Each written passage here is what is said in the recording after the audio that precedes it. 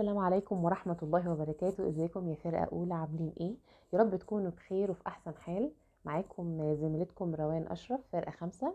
وإن شاء الله النهاردة هنشرح مع بعض محاضرة آه، محاضرة ال General virology. هي مقسومة على جزئين تمام؟ وهم مش مبنيين على بعض ما تقلقوش. هو ده الجزء التاني. وإن شاء الله تكون سهلة وبسيطة وتفهموها جدا بإذن الله. في البداية عايزة آخد من وقتكم دقيقتين ندعي لزمايلنا بالرحمة والمغفرة. آه، ربنا يا رب يرحمهم ويغفر لهم ويجعلهم من أهل الجنة. اللهم آمين. أو تستأذنكم بس توقفوا الفيديو دقيقة آه، نقرأ لهم الفاتحة ونكمل على طول إن شاء الله. كمان عايزة آخد من وقتكم دقيقة ندعي لأهل فلسطين آه، إن ربنا معاهم وينصرهم ويعدي الأزمة دي على خير إن شاء الله. طيب ندخل في موضوعنا بقى. آه، إيه هي العناوين اللي هنتكلم عنها النهارده إن شاء الله؟ والله أول حاجة هناخد حاجة اسمها inclusion bodies تمام؟ هنشرحها كمان شوية. بعدين عندنا حاجة اسمها ال pathogenesis بتاع الفيروس. هنفهم إزاي ال pathogenesis أو إزاي الفيروس ده بيشتغل في الجسم. كمان هنعرف آه، الانتشار بتاعه بتاع العدوى هو بيعمل العدوى شكلها عامل إزاي. و... وال pathogenicity بتاعته القدرة بتاعته على إحداث فيروس. كل عنوان من دول هنشرحه ما تقلقوش أنا بس بعرفكم العناوين. هناخد كمان حاجة اسمها ال forms of infection بعد كده هناخد حاجة اسمها ال classification وال nomenclature بتاع الفيروس تقسيمته والاسم بتاعه بيطلع إزاي. آه، كده هنعرف المناعة بتاعتنا بتتصدى للموضوع ده إزاي وفي الآخر هناخد حاجة اسمها ال antiviral chemotherapy الأدوية اللي موجودة عشان تتعامل مع الفيروسات دي. تمام كده؟ نبدأ يلا. بسم الله. أول حاجة ال inclusion bodies طيب يعني إيه inclusion bodies يعني آه، جوه الخلية في جسمنا اللي الفيروس دخلها بيحصل حاجة اسمها inclusion bodies تمام؟ يبقى أنا عندي خلية في جسمي في فيروس جه دخل جواها. فيروس جه عمل لها إصابة. فبيطلع لي نتيجة للإصابة دي حاجة اسمها inclusion bodies ال inclusion bodies دي ممكن تبقى حاجات كتيرة جدا. ممكن تبقى عبارة عن حتت فيروس. يعني حتت متقطعة من الفيروس ده. ممكن تبقى عبارة عن بروتين أو سم يعني toxin طالع.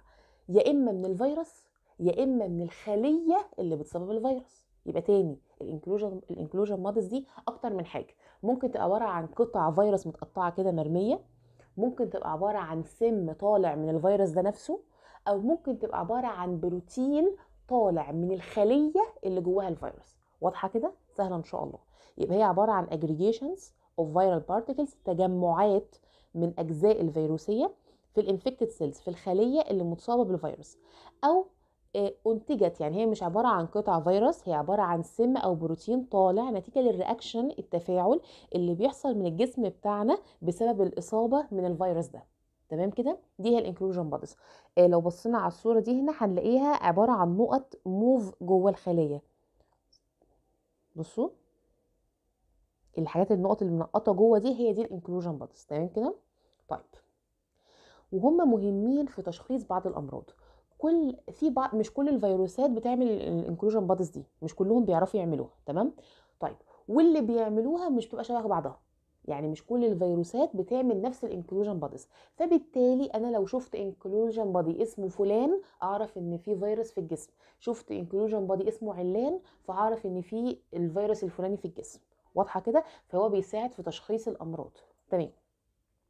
طيب هو الحجم بتاعها صغير جدا بيبقى من واحد ل 30 نانومتر. حاجة صغيرة قوي قوي قوي يعني. وشكلها أي شكل ممكن يجي في دماغنا. ممكن مدورة بيضاوية مش منتظمة مربعة مثلثة ملهاش شكل محدد. بتتصبغ بإيه؟ بعرف أشوفها إزاي تحت الميكروسكوب. بجيب لها صبغة اسمها hematoxylin and eosin اللي هي ال H and E أشهر صبغة. تمام؟ فهي الموضوع ببساطة حجمها صغير جدا من 1 ل 30 نانو. أي شكل أي ما نحفظش أشكال. أي شكل ممكن يكون موجود وبتتصبغ ب H and E اللي هي ال hematoxylin وال eosin stain طيب. ال slide دي مهمة بقى. نعرف أنواعها. عايزين نعرف أنواع ال inclusion bodies دي اللي هتساعدني في تشخيص الأمراض. طيب هعرف نوعها حسب مكانها. هي بتتواجد في حاجة من الأماكن دي. يا إما بتكون موجودة جوه السيتوبلازم اللي في الخلية بتبقى عايمة في السيتوبلازم. يا إما بتبقى موجودة جوه ال nucleus اقتحمت ال nucleus. يا إما بتبقى موجودة في الاثنين في ال nucleus والسيتوبلازم. يبقى أنا عندي ثلاث أماكن يا إما في السيتوبلازم يا إما في ال nucleus يا إما في الاثنين مع بعض. تمام؟ في السيتوبلازم دي في منها نوعين. ثواني. السيتوبلازم في منه نوعين.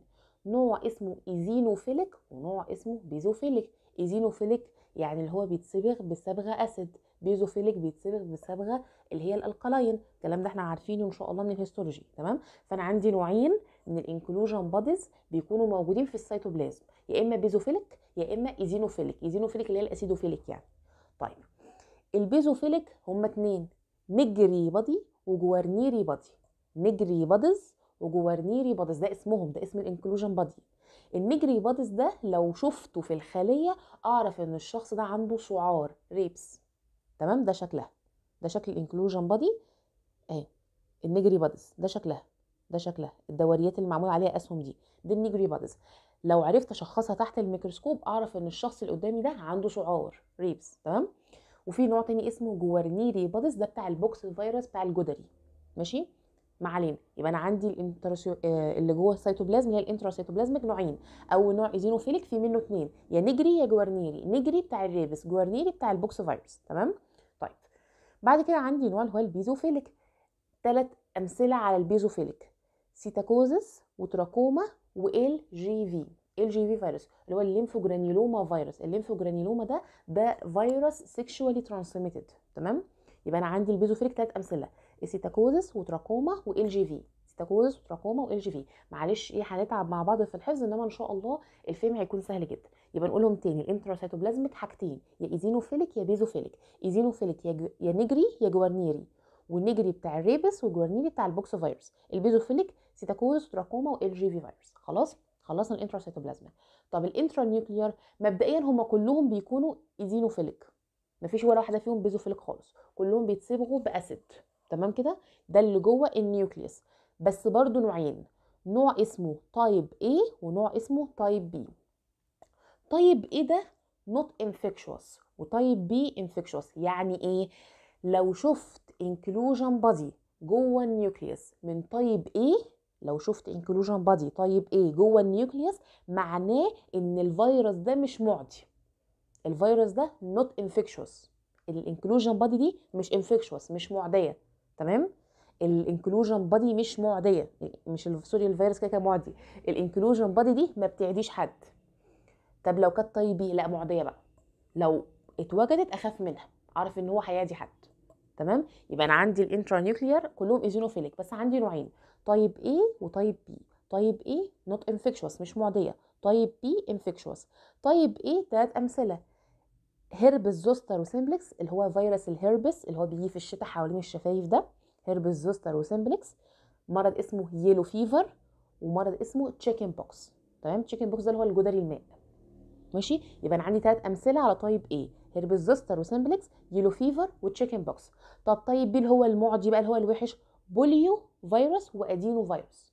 polio و adeno polio اللي هو بتاع شلل الأطفال و adenovirus. خلاص؟ نقولهم تاني intranuclear كلهم eosinophilic type A و type B. type A not infectious مش معدي إنما type B هو اللي infectious type A ثلاث أمثلة herpes zoster و simplex و yellow fever و chicken pox type B polio و adenovirus.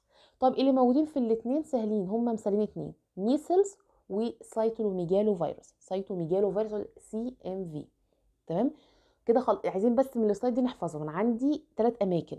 يا إما في السيتوبلازم بس يا إما في ال nucleus بس يا إما في الاثنين مع بعض. سيتوبلازم بس نوعين eosinophilic و basophilic. eosinophilic eosinophilic مثالين. نيجري وجوارنيري. basophilic psittacosis trachoma LGV دول بتوع السيتوبلازم ال intranuclear نوعين. A و B. بس كلهم eosinophilic ال A مش معدية. هيربزوستر وسيمبلكس ويلو فيفر وتشيكن بوكس طيب بي بوليو أدينو واللي موجودة في الاثنين measles و cytomegalovirus CMV.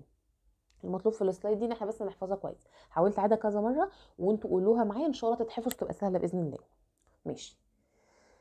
دلوقتي هنتنقل بس على كام تعريف كده هيساعدونا في المحاضرة وهيساعدونا أصلا في محاضرات المايكرو عموما كلها. مصطلحات مهمة وإن شاء الله تكونوا عارفين كام حاجة منها. أول مصطلح هو ال ثواني أول مصطلح اسمه ال pathogenicity. pathogenicity يعني إيه pathogenicity؟ يعني ability to cause disease. يعني إيه برضو؟ ال pathogenicity بتاعت الفيروس يعني قدرته على إحداث مرض. يعني إيه؟ يعني الفيروس اللي معايا ده هيقدر يعمل لي مرض ولا مش هيقدر يعمل لي مرض؟ عنده pathogenicity ولا ما عندهوش pathogenicity؟ الفيروس ده لو اتصبت بيه هيعمل لي مرض في جسمي ولا مش هيعمل لي مرض في جسمي؟ هو في حاجات ممكن ما تعملناش أمراض؟ آه طبعا. إحنا عندنا أصلا في جسمنا بجانب الفيروسات عندنا بكتيريا نافعة مثلا مش بتعمل لنا أمراض إلا إذا كان حصل حاجة ممكن تقلبها ضدنا بس يعني في العادي هي بتبقى مسالمة مش بتعمل أمراض. فدي مش pathogenicity ما عندهاش pathogenicity. إنما الفيروس اللي عنده pathogenicity يعني يقدر لو جالي يعمل لي مرض. Ability to cause disease. وباللاتيني أصلا كلمة patho يعني pain ألم. ماشي؟ ماشي. تاني مصطلح هو هو ال pathogen إيه ال pathogen ده؟ هو ال organism اللي بيعمل المرض يعني أنا عندي pathogen بيعرف يعمل pathogenicity لما أجي أقول إن الإنفلونزا دي pathogen بتعمل لي مرض فهي عندها pathogenicity ال pathogen ده راجع لاسم ال organism نفسه. ال pathogenicity هي العملية هي ال process اللي بيعمل لي بيها المرض. تمام كده؟ بعد كده عندي مصطلح اللي هو ال pathogenesis هي ال- ال cycle أو الدايرة اللي هيمشي فيها الفيروس عشان في الآخر يعمل لي المرض. by which organism produce disease in host. العملية اللي بي بيقوم بيها الفيروس عشان يعمل لي مرض في الآخر. تمام؟ نتيجة ليها نتيجة لل pathogenesis ده بيحصل لي دمار في الخلايا عندي وبيجي لي مرض فبالتالي بيجي لي أعراض. يبقى تاني ال pathogenesis هي العملية اللي الفيروس بيعملها عشان يعمل لي مرض. العملية. تمام؟ آه، نتيجة لل pathogenesis ده بيحصل عندي injury ل discrete population of cell in particular target organ بيحصل عندي إصابة في خلايا محددة في جسمي. تاني حاجة بيطلع عندي signs و symptoms للمرض. بيظهر عليا أعراض بتاعة المرض سخونية بقى ترجيع إسهال ايا كان الأعراض. تمام؟ دي كده ال pathogenesis. يبقى تاني ال pathogen اللي هو ال organism. ال pathogenicity هي قدرته على إحداث المرض. ال pathogenesis هي العملية اللي بيمشي فيها الخطوات ال steps اللي بيقوم بيها عشان يعمل لي مرض في الآخر. طيب طب أمال ال virulence virulence يعني capacity capacity to produce a disease. يعني إيه capacity to produce a disease عشان نفرق بس من حاجة مهمة. pathogenicity هو يا آه يا لأ يا ابيض يا أسود. يا هيعمل لي مرض يا مش هيعمل لي مرض. أمال ال virulence لأ ده خلاص بقى ده أسود. يعني ده حاجة هتعمل لي مرض. ال virulence ده يعني كده هيعمل لك المرض. بس هيعمل لك مرض شديد يعني وقوي قوي ولا مرض ضعيف؟ high virulent حاجة شديدة حاجة آه، قاسية قوي ولا ال low virulent حاجة نص نص؟ فهمنا معنى virulence ال pathogenicity يعني هيعمل لي مرض أو مش هيعمل لي مرض. ال virulence يا إما هيعمل لي مرض شديد أو مرض ضعيف. طيب النقطة دي مهمة بقى. ال extent of disease خطورة المرض أو مدى المرض في جسمي بيعتمد على ثلاث حاجات. أول حاجة ال virus dose هو أنا الفيروس اللي دخل جسمي ده ثلاث أربع فيروسات ولا 50 60 ولا 1000 2000 حسب الكمية يعني اللي دخلت جسمي حسب الكمية اللي دخل جوه جسمي طبعا المدى هيعتمد عليها. يعني لو دخل جوايا فيروس واحد فيروسة واحدة مش زي ما يخش جوايا مثلا 100 صح ولا إيه؟ تاني حاجة ال route of entry هو دخل منين؟ هو دخل من الأنف ولا من الفم ولا اخترق جرح ولا دخل من الجلد ولا دخل منين؟ الطريق بيفرق برضه تالت حاجة ال replication efficiency يعني إيه؟ هو ممكن يخش بس ممكن ما يكونش بيعرف يعمل تضاعف للعدد بتاعه نص نص. فبالتالي المناعة تقوم مخلصة عليه في ثواني. ممكن يكون لأ ده مجرد ما بيدخل بيتضاعف يعني بالآلاف في نفس الساعة مثلا. فخلاص كده ده هيعمل لي مرض شديد. تمام؟ فال extent of disease بيعتمد على ثلاث حاجات. ال virus dose كمية الفيروس الطريق اللي دخل منه ال route of entry وال replication efficiency كفاءة الت- ال- التضاعف بتاعه. يبقى كده فهمنا التعريفات دي. ال pathogenicity إن أنا أعرف أعمل disease أو لأ. ال pathogen ال organism نفسه ال pathogenesis هي العملية والنتيجة ليه بيحصل لي دمار وأعراض. ال virulence ال capacity بتاع ال disease وال extent بيعتمد على ثلاث حاجات ال dose وال route of entry وال replication efficiency تمام قوي الفيروس عشان يعرف يعمل لي آه، مرض في جسمي أول حاجة طبعا محتاج حاجة يخش منها محتاج يخش من عينيا من بقي من مناخيري محتاج route of entry تمام؟ من ال respiratory tract بقى من اللي هو تبع التنفس تبع الجلد تبع ال urogenital tract اللي هو الجهاز التناسلي والبولي أو ال conjunctiva الملتحمة بتاعة العين ايا كان الطريق المهم لازم يبقى في طريق مفتوح له. في قصدي آه، بوابة تدخله في بوابة. تاني حاجة الطريق اللي هيمشي فيه هو هيمشي منين؟ المواصلات بتاعته إيه؟ ممكن تبقى blood الدم ال lymphatics ممكن تبقى الأعصاب ال nerves ماشي؟ فهو أول حاجة فتحنا له باب تاني حاجة فتحنا له طريق. تالت حاجة هيخش يروح فين؟ ال target organ بتاعه. هيروح للمخ ولا هيروح للقلب ولا هيروح للمعدة ولا هيروح فين بالظبط؟ يبقى خطوات أو ال- ال- اللي أنا محتاجاه عشان أعمل pathogenesis العملية اللي هي اسمها ال pathogenesis دي أول حاجة محتاجة بوابة portal of entry تاني حاجة محتاجة طريق تالت حاجة محتاجة organ أروح له. تمام. في بقى إيه معلومة كده صغيرة عايزين بس نعرفها. أنا عندي نوعين في. من الخلايا في جسمي. بصوا هي- معلومة إيه إيه، كلمة ونص. ماشي؟ اعرفوها مرة وخلاص. إيه، في خلايا اسمها permissive cell وفي خلايا اسمها non-permissive cell يعني إيه permissive non-permissive permissive يعني بتسمح. non-permissive يعني مش هتسمح. طب هتسمح بإيه ومش هتسمح بإيه؟ يعني هتسمح إن الفيروس يخش يعمل replication وعدده يزيد ولا مش هتسمح؟ بس كده مش عايزاكم تعرفوا أكتر من كده. مش مطلوب منكم أصلا تعرفوا أكتر من كده. ال permissive يعني خلية الفيروس لما دخل قعد يتضاعف يتضاعف يتضاعف وبعد كده في الآخر الخلية فرقعت وخرجت فيروسات كتير. ال non-permissive الفيروس لما دخل هي ما ساعدتوش إنه يتضاعف هي حجمته يعني خلته يفضل جوه الخلية دي ما يتضاعفش ويخرج منها. دي ال non-permissive cell يبقى ال permissive بتسمح إن الفيروس عدده يزيد ويقوم مفرقع وخارج بأعداد كبيرة ال non-permissive ما بتسمحش بالكلام ده خالص. بس كده. طيب دلوقتي هننتقل لنقطة تانية اسمها اللي هي dissemination of infection الانتشار بتاع المرض ده إيه المدى بتاعه؟ عندي حاجة من حاجتين. يا local infection يا systemic infection local infection يعني إيه؟ يعني عدوى في نفس المكان اللي الفيروس دخل فيه. وخلص الحكاية على كده. مفيش أكتر من كده. أمال systemic ده هينتشر في الدم ويهيص بقى ويروح على كذا organ تاني. ندي أمثلة.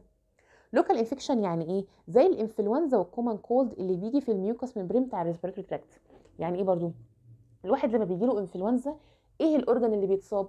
مناخيره بقى بترشح آه، رئته بتوجعه معرفش إيه. فهو كان target local مكان local مكان محلي مكان محدد مش بيخرج عنه. ال rotavirus infection عند ال GIT في فيروس اسمه روتا فيروس بيجي في ال GIT بيجي في المعدة يعني و- آه، الجهاز اللي هو الهضمي بتاعنا. آه، بتعمل فيه إسهال مثلا. فهو كده أنا م targeted ال organ ده بس.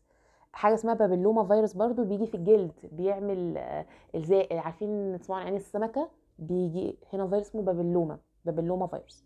فدي حاجات local حاجات في مكانها. أمال ال systemic؟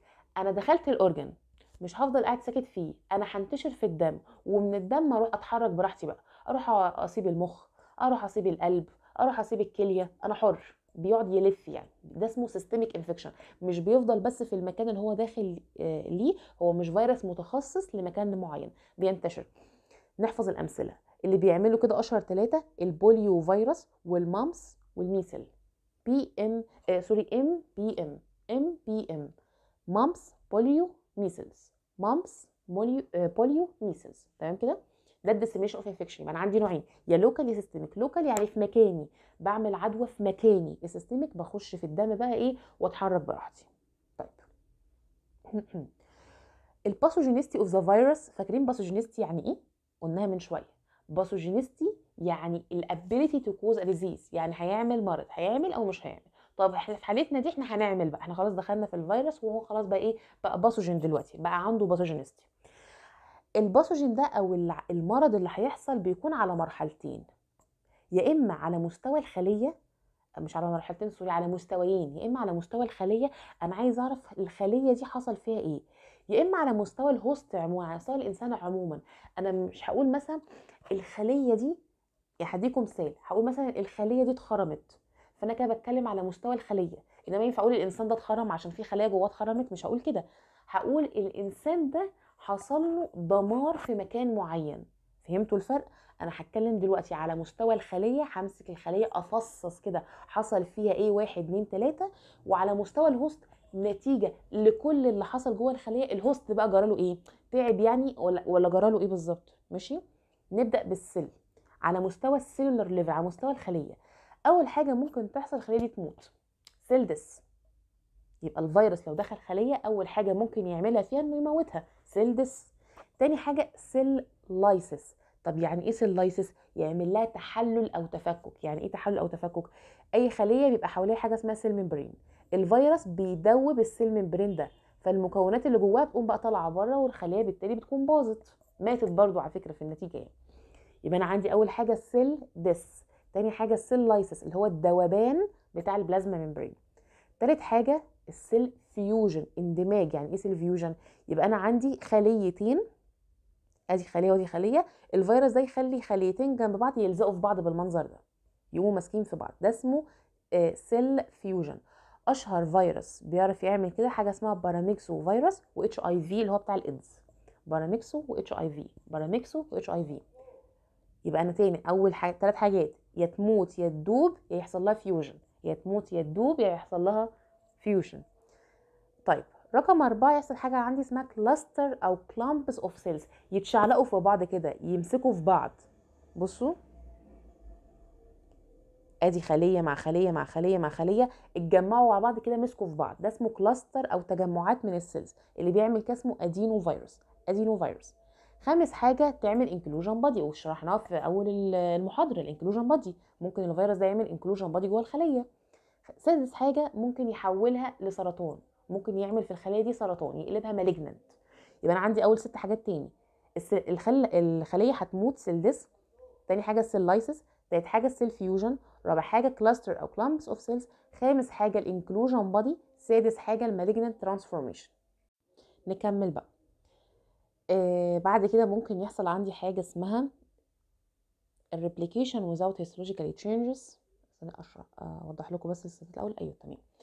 سابع حاجة replication without histological changes. يعني ممكن الفيروس ده يخش يقعد يعمل تضاعفات و replications وخلاص من غير ما يعمل الحاجات اللي إحنا قلناها اللي فاتت دي. ولا lysis بقى ولا ولا بتاع ده ولا fusion ولا clusters ولا يعمل أي تغيرات. هو بيخش بس يتضاعف وبيقوم خارج من الخلية وخلاص.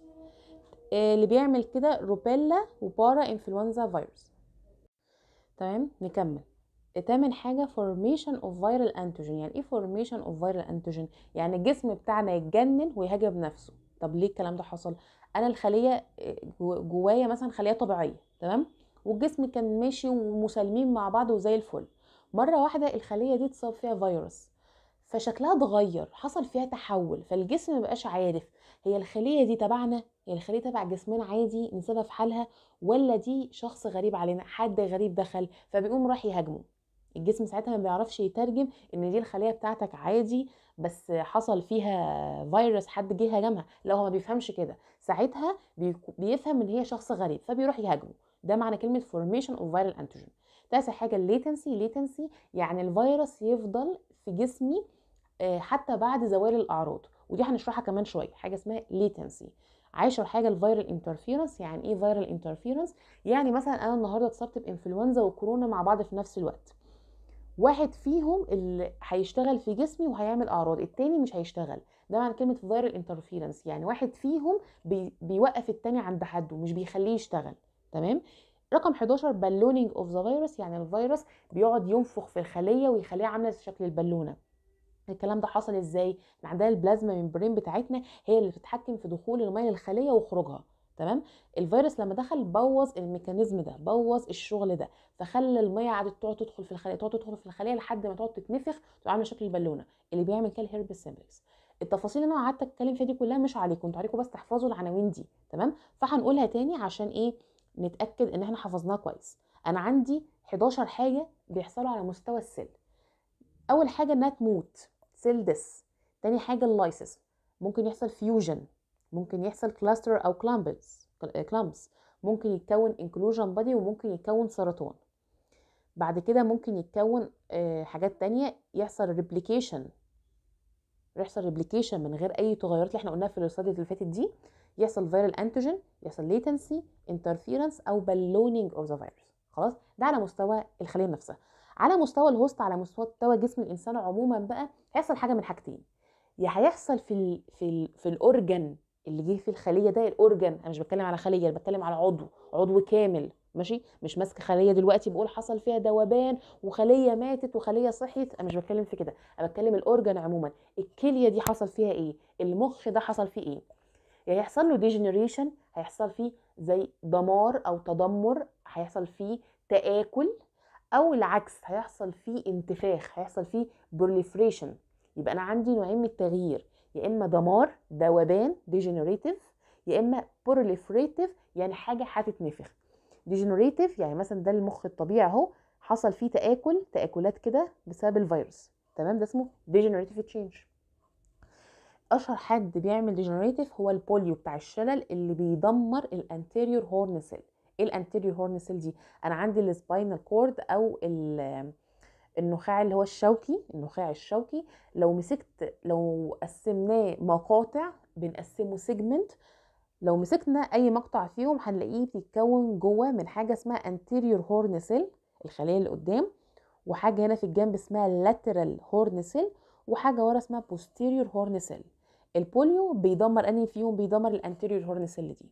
ماشي؟ ده اسمه degenerative change proliferative change يعني hyperplasia يعني انتفاخ زي ال papilloma اللي بيخش إيه ينفخ في الخليه زي ما أنتم شايفين كده. sorry sorry مش انتفاخ زيادة في العدد. يعني بيكبر يعني بيكبر الانتفاخ ده اللي هو ال hypertrophy ماشي؟ يبقى hyperplasia إن أنا هزود عدد الخلايا. يعني هعمل في المكان ده آه برضو المكان هيحصل فيه انتفاخ هيحصل فيه كبر. زي ما قلت لكم عين السمكة زي ما قلت لكم مثلا بيحصل زي ورم صغير كده في المكان تمام؟ ده على مستوى ال host يا degenerative يا proliferative change proliferative changes تمام. نتنقل بقى لحتة تانية خالص وهي ال forms of infection ال forms of infection دي طيب أنا دلوقتي أنا عندي المرض. شكل المرض ده في جسمي عامل إزاي؟ هو حاجة من خمسه والموضوع وال slide دي سهلة جدا جدا يعني. أول حاجة إن يكون المرض ظاهر apparent apparent infection. يعني الأعراض ظاهرة عليا. يعني أنا جالي فيروس هيجي لي بقى إيه؟ سخونية رشح كحكحة معرفش إيه. ده اسمه apparent disease apparent infection. هيجي لي مرض مجرد ما ارتاح واخد الأدوية وهخف بعديها تمام؟ ده اسمه apparent infection أو apparent disease. طب هو ممكن يحصل غير كده؟ ممكن. ممكن يكون آه in apparent abortive أو subclinical. يعني إيه؟ in apparent يعني مش ظاهر. abortive يعني كلمة abortion أصلا يعني إجهاض. يعني المرض زي ما نقول كده حصل له إجهاض. كلينيكال يعني مش ظاهر عليه أعراض. يعني إيه برضو؟ يعني أنا عندي عدوى في جسمي بس مش ظاهر عليه أعراض. فاللي حواليا مش هيعرفوا إن أنا عيانة. يعني أنا عندي فيروس في جسمي بس لا سخنة ولا بكح ولا رشح ولا أي حاجة بس عندي عدوى وده أخطر نوع. طب ليه أخطر نوع؟ لأنه مش باين إنه عيان. فلما أحطه في مكان الناس اللي حواليه مش عارفين إنه عيان. فهيعدي كل اللي حواليه وممكن يتعدوا وهو ما جرالوش حاجة تمام؟ فده حاجة خطيرة إنه بيعدي اللي حواليه ومش بيكون باين إنه عيان. In which there is a viral infection but without overt signs or symptoms. مفيش أعراض ولا uh, symptoms ولا signs ظاهره على العيان ده. اللي بيعمل مثال على كده ال rubella cytomegalovirus اللي بيجي في للأم وهي حامل. هو إيه ال rubella cytomegalovirus ده؟ ده فيروس بشع. إيه مشكلته؟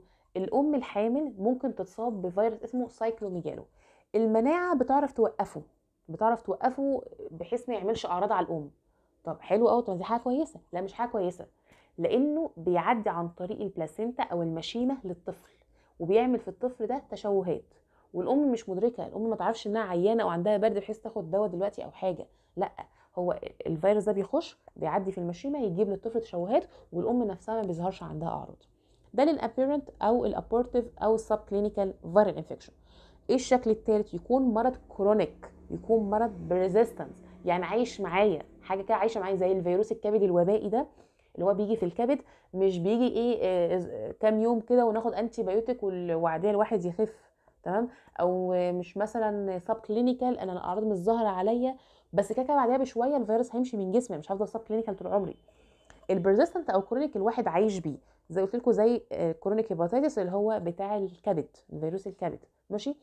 زي برضو الناس اللي بيبقى عندها مثلا COPD COPD ده مرض بيجي في الرئة اللي هو بيبقى بسبب السجاير دايما اللي بيدخنوا سجاير سنين طويلة تلاقيهم على طول بيقعدوا يكحوا وعندهم بلغم وكده. ده بيجي لهم مرض اسمه COPD هتاخدوه إن شاء الله قدام. ده مرض chronic خلاص؟ يبقى كده اتكلمنا عن ثلاث أشكال.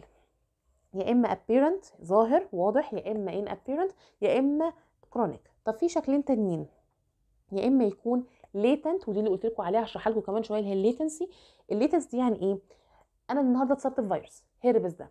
اتصبت النهارده بفيروس هيربس. قعدت خمس ست أيام جالنا كحة وسخونية ومعرفش إيه وصداع. بعديها خفينا وبقينا زي الفل. الشتاء اللي بعده جالي حوالين شفايفي الفقاقيع دي ال vesicles دي. طب ده معناه إيه؟ معناه إن الفيروس بقى latent في جسمي. يعني إيه بقى latent في جسمي؟ يعني الفيروس اختار مكان يقيم فيه يقيم فيه ويلم على نفسه كده ينكمش على نفسه لحد ما يحصل حاجة في الجسم تعمل له flare up تعمل له flare up يعني إيه؟ تصحصحه. قوم يلا شوف شغلك. يعني هو في العادي قاعد في جسمي ما بيعمليش أي حاجة. مش بيدمر في جسمي يعني. هو قاعد ساكت لامم نفسه. حصل حاجة معينة. الحاجة دي ممكن تكون مثلا أنا في الوقت ده مناعتي ضعيفة آه، جالي سخونية شديدة قوي حاجة معينة كده نشطته. حاجة حصل حاجة نشطته. فبيقوم ينشط يعمل حاجة ويرجع يقعد في مكانه تاني. وهكذا. تمام؟ أشهر بقول لكم مثال للموضوع ده هو الهربس. آخر صورة بقى هو ال slow viral infection إيه هو ال slow viral infection ده؟ يعني واحد اتصاب النهارده بفيروس. ما ظهرش عليه أعراض. ده subclinical ولا إيه؟ لا مش subclinical ولا حاجة. هو ما عداش حد برضه. يعني هو قعد يعني إيه؟ قعد شهر شهرين ثلاثة ممكن توصل لعشر سنين. عشر سنين ما ظهرش عليه حاجة. بعدين فجأة يظهر عليه الأمراض يظهر عليه الأعراض دي. ده اسمه slow viral infection يعني بيحتاج prolonged incubation period فترة حضانة طويلة قوي مع الأعراض تبدأ تظهر. أشهر أشهر مرض للموضوع ده هو ال HIV اللي بيعمل AIDS ال HIV لو جه لإنسان ممكن يقعد 10 سنين كاملة ما يظهرش عليه أي أعراض بعدها يبدأ يظهر أعراض الايدز عليه. تمام؟ تاني مثال حاجة اسمها subacute sclerosing panencephalitis اختصارها اس اس بي اس اس بي سب اكيوت سكليروزنج بان انكيفالايتس ده مرض كده آه، بيجي في الأعصاب والمخ اللي هو في الجهاز العصبي يعني بيعمل فيه زي آم، تآكل نقدر نقول هو مش تآكل بالظبط بس بي إيه بيموت أجزاء معينة في الجهاز العصبي وما بتشتغلش تاني. يعني الجزء اللي بيموت ما بيشتغلش تاني. مرض يعني إيه ربنا يعافيكم جميعا مش أحسن حاجة. آه، بيجي فيروس اسمه measles virus measles virus تمام؟ يبقى أنا عندي اسمه subacute sclerosing panencephalitis أنا قلت كلمة measles دي النهارده مرة من شوية كده. حد فاكر كانت فين؟ يعني اللي يفتكر بجد شابوه كانت في ال dissemination of infection في جزء السيستميك تمام؟ عايزين كده نجمع مع بعض وإحنا ماشيين. تالت مثال آه، أمراض اسم آه، أمراض اسمها إيه؟ مرض اسمه كورو أمان وبيعمل آه، مات كاو. ثواني. أهو. مات كاو جنون البقر في الماشية. والاسم التاني اسمه كروتز آه، فيلد جاكوب ديزيز. ده آه، مرض كده بيجي آه، بيعمل مشاكل في الجهاز العصبي. بنقول عليه جنون البقر وبيعمل الإنسان يبقى الإنسان ده عصبي طول الوقت ده ومش متظبط يعني. المهم يعني هو فيروس بيجي في الجهاز العصبي. هو مش فيروس بالمناسبة هو بي- بيجي حاجة اسمها prion وال prion ده هشرحه كمان شوية تمام؟ فال slow viral infection يعني بيحتاج مدة طويلة معاه يظهر. ال HIV ده أهم مثال أهم مثال أهم مثال. تاني حاجة ال SSP وتالت حاجة اللي هو جنون البقر ده تمام؟ كده إحنا اتكلمنا عن الخمس أشكال يا إما apparent واضح يا إما inapparent اللي هو subclinical اللي هو الأعراض مش ظاهرة عليا يا إما chronic قاعد معايا كتير الأعراض ظاهرة الأعراض ظاهرة. ال latent يعني بيروح ويجي بيروح ويجي. ال slow يعني بيحتاج مده طويلة جدا مع لا يبدأ يظهر. ده graph مجمع الشكل. إحنا لو قلنا أنا عندي acute أو apparent infection آدي أهو طلع عندي الأعراض كام يوم بعد كده خلاص الموضوع هيجي خالص مفيش أي مشاكل. أمال ال persistent أو chronic بيظهر عليه الأعراض وبتفضل مكملة معايا مدة طويلة. قلنا زي ال COPD اللي شرحته لكم من شوية أو الفيروس الكبد ال latent يعني يحصل حاجة تشغلي المرض وبعد كده ينام تشغله وينام تشغله وينام. وال slow viral infection يعني أنا جالي مرض النهارده وقعد سنين طويلة لحد ما بدأ يظهر تاني تمام؟ ده كان ال general pattern بتاع ال infection أو صورة ال infection عموما. إيه البيريون بقى اللي إحنا قلناها تحت من شوية اللي هي بتعمل جنون البقر ده؟ ال prions دي عباره هم مش فيروسات هم مختلفين عن الفيروسات. مختلفين في إيه؟ هم عبارة عن أجزاء من البروتين ما فيهمش دي ان إيه أو ار ان إيه ما فيهمش مادة وراثية تمام؟ هم infectious protein particles حاجات بروتين بس بتسبب عدوى وكل حاجة composed solely solely of proteins تماما proteins ما فيهمش أي حاجة تانية with no detectable nucleic acid معهمش لا دي ان إيه ولا ار ان إيه ولا أي حاجة تمام؟ هم مش أجزاء فيروسات هم عبارة عن filaments شرايط كده. تمام؟ بال electron microscope يعني.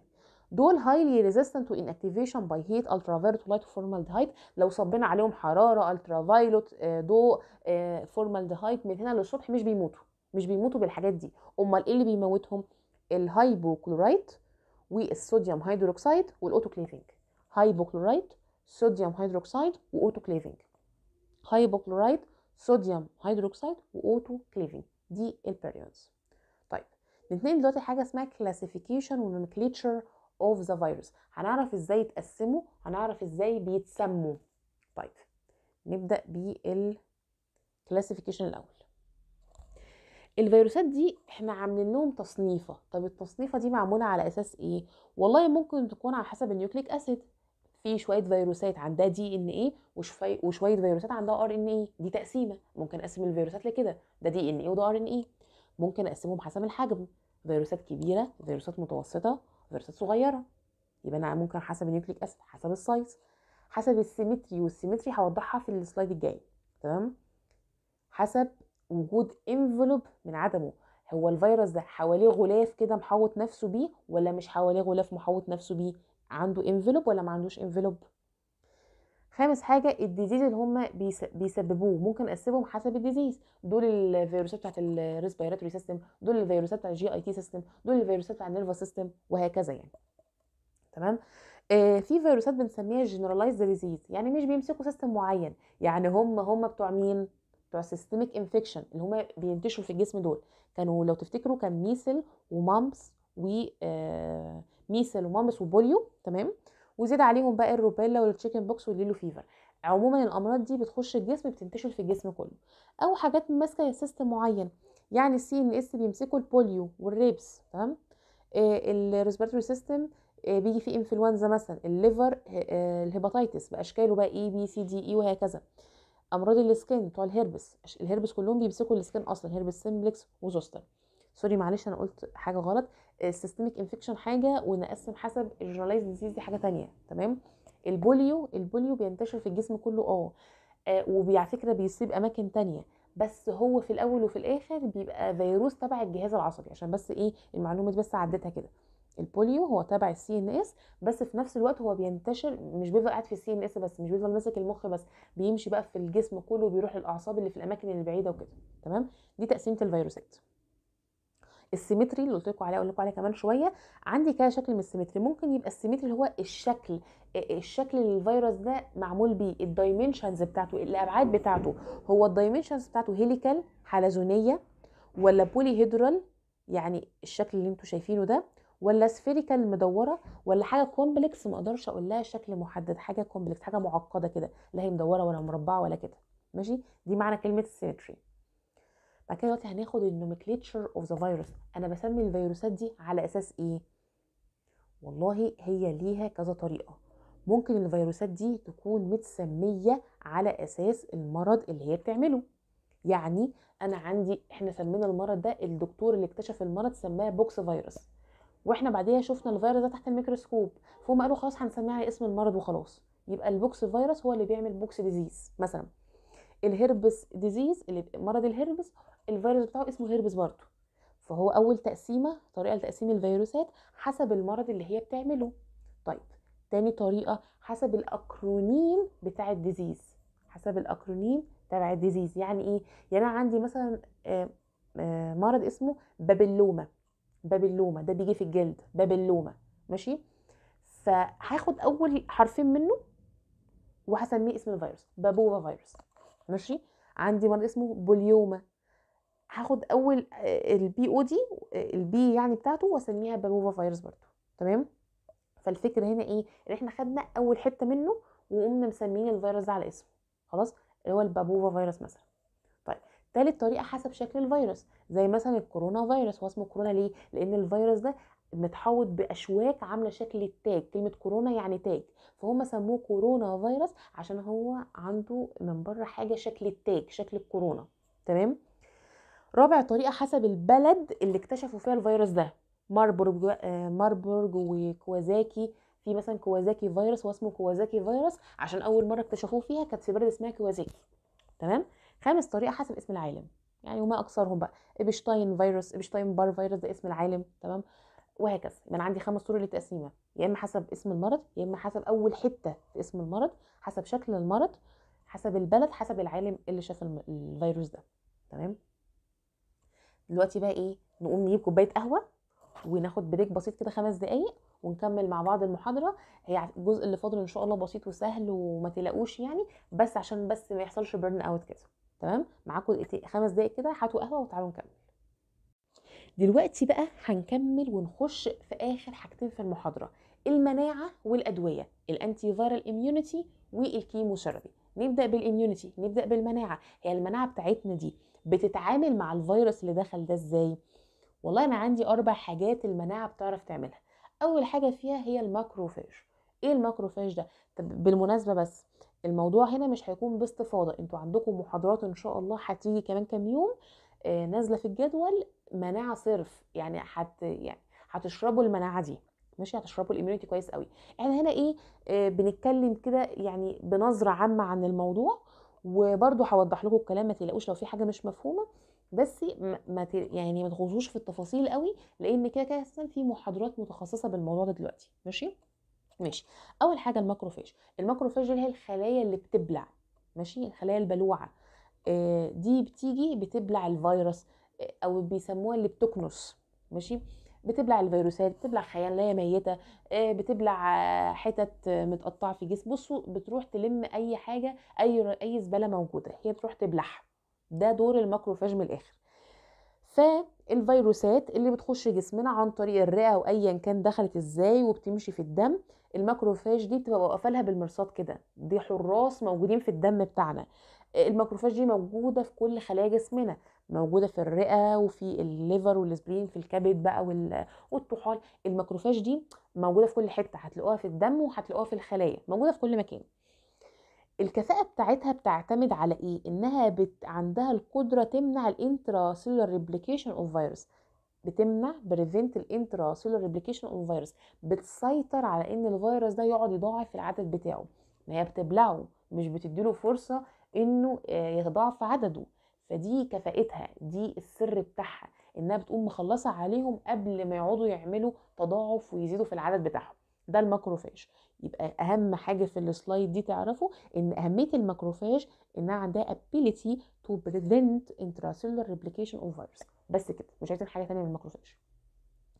تاني حاجة أنا عندي نوعين من المناعة. نوع antibody mediated أو humoral immunity ونوع cell mediated immunity antibody mediated يعني إيه؟ يعني بتشتغل بالأجسام المضادة بتشتغل بال antibody وبتشتغل في الدم بس بتشتغل في الدم بس ما بتعرفش تشتغل جوه الخلية. يعني لو الفيروس فلت مني ودخل جوه الخلية ال antibody مش بتعرف تشتغل. يجي هنا دور ال cell mediated immunity اللي هي المناعة المختصة تخش جوه الخلية. الكلام ده المفروض إن إحنا واخدينه في ثانوي تمام؟ بس إيه برضو بفتح معاكم الكلام كده. يبقى أنا عندي نوعين من المناعه antibody mediated اللي هي بتشتغل بالأجسام المضادة ونوع تاني اسمه cell mediated اللي هو بيخش يشتغل جوه الخلية. نبدأ بال antibody mediated أو ال humoral immunity بتعمل حاجة اسمها ال virus neutralization أو بتسيطر على الفيروس طول ما هو موجود في الدم. إزاي؟ الفيروسات اللي عندها viremic mode of spread يعني إيه viremic mode of spread في فيروسات بتعرف تنتشر عن طريق الدم. زي البوليو والهيباتيتس والمامبس والميس اللي هم بتوع ال systemic infection ماشي؟ دي فيروسات بتعرف تنتشر عن طريق الدم. بيتحكم فيهم ال antibody اللي هم الأجسام المضادة. طب مين تحديدا؟ ال IgG وال IgM فاكرين الأجسام المضادة كانوا كام؟ كانوا خمسة. حروف كلمة ماجد لو تفتكروا. M A G E D ما علينا الكلام ده هتاخدوه بقول لكم في المناعة بس أنا هنا محتاجة في ال antibody بتاعت ال humoral بتاعت الدم اللي هيهاجموا الفيروس IgG و IgM ودول اسمهم serum neutralizing antibody serum عشان إحنا في الدم. neutralizing يعني بيعادلوا الفيروس ماشي؟ antibody بيقدروا يتعادلوا الفيروس بإنهم يمنعوا ال attachment بتاعه to receptor site on cell يعني إيه؟ يعني هم بيروحوا يم... الفيروس عشان يخش جوه الخلية أنا هشرح لكم الكلام ده كمان كام سلايد. الفيروس عشان يقدر يخترق الخلية أول خطوة في خطواته إن هو يمسك في الخلية دي يمسك فيها من بره بعد كده بيقوم يخترقها. هي بتمنع خطوة إن هو يمسك فيها أصلا إن هي بتمنعه إنه يمسك في الخلية عشان يدخلها. فدور ال antibody أو دور ال antibody mediated immunity إنها تمنع ال attachment إن الفيروس يمسك في الخلية اللي هو هيروح يهجم عليها دي. تمام. ال IgG وال IgM زي ما قلنا بيمشوا في البلد بيمشوا في الدم في مرحلة ال viremia ال viremia قبل ما يوصل ال organ قبل ما يخترق الخلية. زي ما قلنا لو الفيروس عرف يخش جوه الخلية ال antibody مش هيعرف يعمل له أي حاجة ولا أي حاجة. تمام؟ آه زي برضو CNS polio virus infection where the patient protected from paralytic poliomyelitis أنا عندي المرض اللي هو الشلل بتاع الأطفال ده ال polio virus ده. لو دخل جسمي وال antibody بتقوم صاحية وواقفاله عشان تمنعه من إنه يعمل الإنسان ده مرض الشلل تمام؟ مثال يعني ما علينا. طيب. آه الإنسان اللي بيجيله آه فيروس من دول اللي هو ال polio أو راحت فين؟ ال polio أو ال hepatitis أو ال mumps one attack واحدة من الفيروس بتعمل له long lasting immunity فاكرين اللي هي الخلايا اللي بتبقى عندها memory أو ذاكرة بحيث إن أنا مثلا زي الجدري زي الجدري. الإنسان لو جاله جدري النهارده اتصاب بيه. ما بيتصابش بيه تاني. ليه؟ لأن اتكون عنده مناعة ضد الفيروس ده. هي نفس الفكرة اللي مقصود بيها في ال antibody mediated دي. نعرف إيه من ال slide دي؟ إن أنا عندي IgG و IgM دول أهم اتنين ودول بيمشوا في الدم. ولو الفيروس دخل الخلية ما, يعر... ما مش هعرف أتصرف معاه. كمان أنا عندي إن one attack بتعملي long lasting immunity ماشي. في بقى نوع تاني تبع ال antibody إحنا لسه مش جوه الخلية. تبع ال antibody مش بيمشي في الدم هو بيشتغل في ال mucous membrane mucous membrane بتاع الجسم. يعني إيه برضو؟ زي ال rhinovirus وال influenza virus. دول بيشتغلوا جوه الأنف مثلا على ال mucous membrane هم ما دخلوش اللي جوه ما تعمقوش جوه الخلية. هم بيشتغلوا على الطبقة ال mucous اللي فيها المخاط من بره اللي بتطلع مخاط تمام؟ في الحالة دي ال IgG وال IgM مش عارفوا يعملوا حاجة. يجي دور هنا حاجة اسمها الاي جي اي إحنا عندنا هم قلنا خمسة. اتكلمنا عن الاي جي ام والاي جي جي دول للفيروسات اللي بتسرح في الدم. طب لو هيقف في ال mucous membrane وهيعمل تضاعفات فيها يجي دور حاجة اسمها secretory IgA ده مهم جدا لأن الاي جي ام والاي جي مش هيعرف يعملوا أي حاجة في المنطقة دي. ال IgA بيعرف يعمل neutralize ال virus infectivity عند ال mucous surface عند المنطقة اللي فيها ال mucous membrane ده. تمام؟ طب التطعيمات بتنفع مع الحالات دي ولا ليها أي لازمة؟ طب ليه ولا ليها أي لازمة؟ ليه الإنسان اللي بيجيله انفلونزا أو كده التطعيمات ما بتعملش معاه أي حاجة؟ مش زي مثلا بتاع ال polio بتاع الشلل الأطفال هو الأطفال بياخدوهم هم صغيرين مش زي بتاع السل ماشي؟ في فيروسات كده آه وال hepatitis B اللي هو الجرعة اللي الأطفال بياخدوها أول ما بيتولدوا أول جرعة بتتاخد. طب ليه الإنفلونزا ما ينفعش؟ عشان الأسباب دي. ال superficial infection هو زي الانفلونزا اللي هي بتتعمل superficial على الطبقة الخارجية بره من الجسم اللي هو ال mucous membrane ده. مش لمجرد ما الإنسان تجيله مرة بتك... خلاص لا بتجيله كل شوية عادي. الإنفلونزا إحنا بيجي لنا في السنة 500 مرة يعني. ليه؟ لأن ال secretory IgA دي مبدئيا حاجة ضعيفة حاجة weak مش زي ال IgM وال IgG. ثواني ال IgA دي ال secretory IgA ضعيفة weak nature طبيعتها ضعيفة شوية مش زي الاي جي إم والاي جي جي. تاني حاجة لأن ال influenza virus هو مش نوع واحد. أنا عندي 500 نوع اسمه influenza virus. ففي several antigenic type يعني أنا دلوقتي ممكن أتصاب ب influenza virus رقم واحد. وتكونت عندي مناعة وزي الفل وكل حاجة. بس بعدها بكام يوم جالي إنفلونزا رقم عشرة. طب ما هو المناعة اللي جوايا دي مش ضد الرقم عشرة هي بتاعت رقم واحد. فاهمين الفكرة؟ فعشان في أنواع كتير قوي نفس النوع من الفيروس. تالت حاجة هو مش بس في نفس النوع هو كل شوية بيغير نفسه كل شوية بيطور من شكله بيعمل طفرات في نفسه عشان يغير شكله تمام؟ فالمناعة والتطعيمات ملهاش أي دور في الحتة دي ماشي؟ آه اللي هما الفيروسات اللي بتشتغل عند ال mucous membrane دول الفاكسينات مش بتبقى نافعة معاه أمال مين اللي بيعرف يسيطر عليها؟ هو ال secretory IgA بيسيطر عليها مؤقتا ولما تصاب بيها تاني يطلع لها تاني ولما تصاب بيها تالت يطلع لها رابع. فاهمين؟ مفيش مناعة ومفيش فاكسينات المعلومة دي مهمة مفيش فاكسينات هنا ماشي؟ ثواني عشان لو حد ما لاحظش المعلومة دي اهي ال parenteral vaccines اللي هي التطعيمات مش بتنفع في مرحلة ال superficial viral infection parenteral اللي هي بتتاخد بالحقن مش عن طريق الفم يعني مش قطرة. ماشي؟ طيب. تالت حاجة المناعه بتعملها ال cell mediated إيه ال cell mediated يعني الفيروس عرف يخش جوه الخلية. يجي هنا دور ال cell mediated immunity أول نوع فيها اسمه cytotoxic T cell اللي هي TC cell لو تفتكروها من ثانوي TC cell دي بتقتل الفيروس infected cell directly after recognition of new viral antigen on cell surface. يعني إيه؟ يعني أنا عندي خلية جواها فيروس والفيروس ده يعني إيه؟ عمل تغيرات في ال plasma membrane بتاع الخلية فبقت واضحة كده من بره إن هي جواها فيروس. تيجي ال TC cell دي تيجي تبص على الخلية من بره فتفهم إن جواها فيروس. تقوم قتلها تقوم قتلاه ايا كانت الطريقة بقى هنعرفها في محاضرات ال immunity بس ده دور دي ده دور ال TC cell cytotoxic T cell دي دورها تمام؟ بتيجي تبص على الخلية من بره كده تعرف إن هي جواها فيروس تقوم قاتلة الخلية اللي جواها الفيروس. مش بتقتل الفيروس نفسه ركزوا مش بتقتل الفيروس نفسه بتقتل الخلية بالفيروس اللي جواها تمام؟ بتموت الخلية كلها. تاني حاجة ال helper T cell ال helper T cell هي الخلايا المساعدة تمام؟ دي بتشتغل إزاي؟ بتطلع حاجة اسمها lymphokines ال lymphokines ده بيعمل إيه؟ بيعمل حاجتين. بيروح ينادي لل macrophage اللي هي بتقعد تبلع دي اللي إحنا اتكلمنا عنها من شوية دي بيجيبها يقول لها إيه؟ تعالي ابلعي لنا الخلية اللي جواها الفيروس دي. ما تبلعيش الفيروس ابلعي الخلية اللي جواها الفيروس. دلوقتي إحنا بنتكلم على خلية مصابة بفيروس ماشي؟ تاني حاجة بينادي لحاجة اسمها interferon Y وده هشرحه كمان شوية. ال interferon Y ده بيجي ليه دور معين كده إن هو بيحمي الخلايا المجاورة من إنها تتصاب بالفيروس. هنعرف دوره كمان شوية بتفاصيل. ماشي؟ يبقى ال helper T cell دي بتطلع حاجة اسمها lymphokine. ال lymphokine بينادي لل macrophage يقول لهم تعالوا ابلعوا الخلايا وبينادي كمان لل interferon Y يقول لهم تعالوا احموا لي الخلايا المجاورة اللي الفيروس يخش فيها هي كمان. ماشي؟ يبقى عندي cytotoxic T cell وعندي helper T cell تالت حاجة ال natural killer natural killer من اسمها هتعمل إيه؟ هتقتل. نفس الوظيفة اللي فوق بالظبط. هتقتل الخلية اللي جواها الفيروس ال cell infected virus بس مش بتعرف تعمل الحوار ده لوحدها. بتحتاج مساعدة من شخصين. واحد اسمه انترفيرون اللي إحنا هنقولنا هنقوله كمان شوية. واحد اسمه interleukin 2 تمام؟ دي حاجات كده المفروض برضو هناخدوها هتاخدوها في ال immunity عشان بس ما اطولش وقت المحاضرة على الفاضي. دي حاجات كده بتيجي ليها دور في المناعة. خلاص؟ يبقى أنا عندي لحد دلوقتي ال cytotoxic وال natural killer بيقتلوا. ال cytotoxic بتعمل الكلام ده لوحدها. ال natural killer بتحتاج مساعدة من حاجتين interferon و interleukin 2 آخر حاجة ودي ركزوا بس فيها معايا شوية حاجة اسمها انتي بودي ديبندنت سيلولار سيتوتوكسيستي اي دي سي سي يعني إيه؟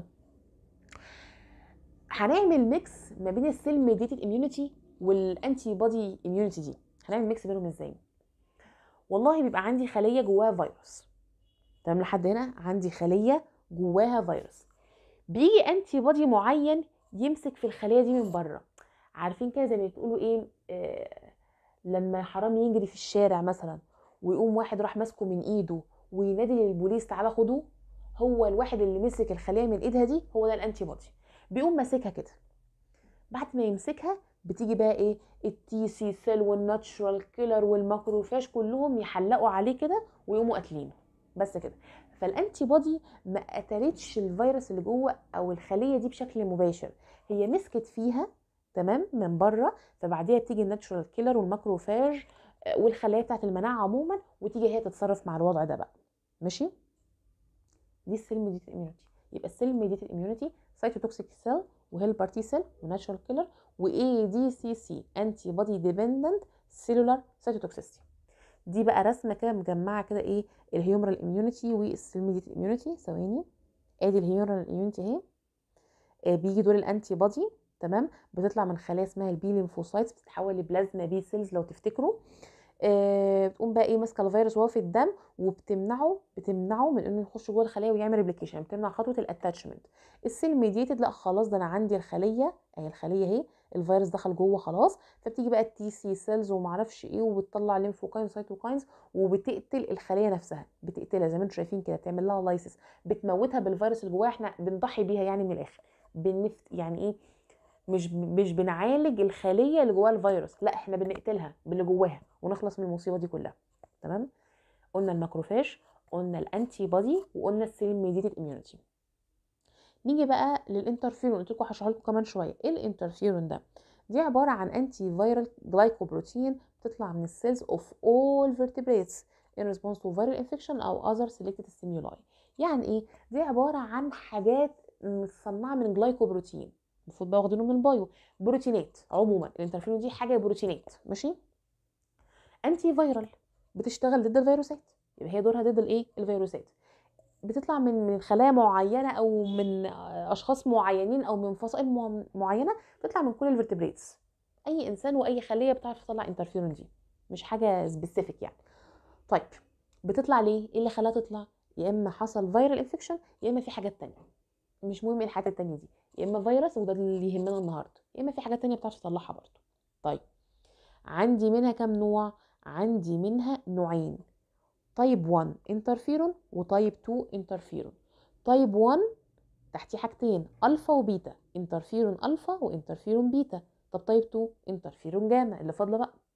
يبقى أنا عندي نوعين type 1 و type 2 type 1 بتطلع alpha و beta و type 2 بتطلع جاما طيب type 1 انترفيرون اللي بتطلع الفا دي. الفا ليها اسم تاني اسمه leukocyte interferon طب اسمه ليه leukocyte؟ عشان بتطلع من خلايا اسمها leukocytes اللي هي ال B cell وال macrophage وال lymphos الكلام ده كله. سوري البي سيلز والماكروفاج البي سيل والماكروفاج بيطلعوا حاجة اسمها interferon alpha interferon alpha طب بيتا بيطلع من ال fibroblasts اللي هي الخلايا اللي بتعمل فايبرين كده ساعة التجلط. ماشي؟ دي اسمها fibroblasts حلو. أمال الجاما لا الجاما دي بتطلع بقى من اللي فاضله من ال T يبقى تاني. عندي نوعين. type 1 interferon و type 2 انترفيرون لاحظتوا كان في الأول بقول لكم ده عن دول ال types of human interferon لأن إحنا قلنا الانترفيرون بتطلع من كل ال vertebrates يعني بتطلع من الحيوانات عادي برضو. أنا هنا بتكلم على بتوع البشر بتوع الإنسان نوعين 1 و2 1 هو الفا وبيتا الفا بتطلع من اليوكوسايتس اللي هي البي والماكروفاج والبي بتطلع من الفايبروبلاست ماشي. ال2 اللي هي الجاما اسمها immune بتطلع من ال T lymphocytes ماشي. ال type 1 انترفيرون دول آه بيطلعوا لل viral بسبب ال viral infection حصل viral infection أو بسبب إن حصل bacterial endotoxin يبقى بتطلع بسبب الفيروسات أو السموم اللي البكتيريا بتفرزها في الجسم. ماشي؟ ماشي. طيب مين بيطلعهم أكتر؟ أنهي فيروسات بتطلعهم أكتر؟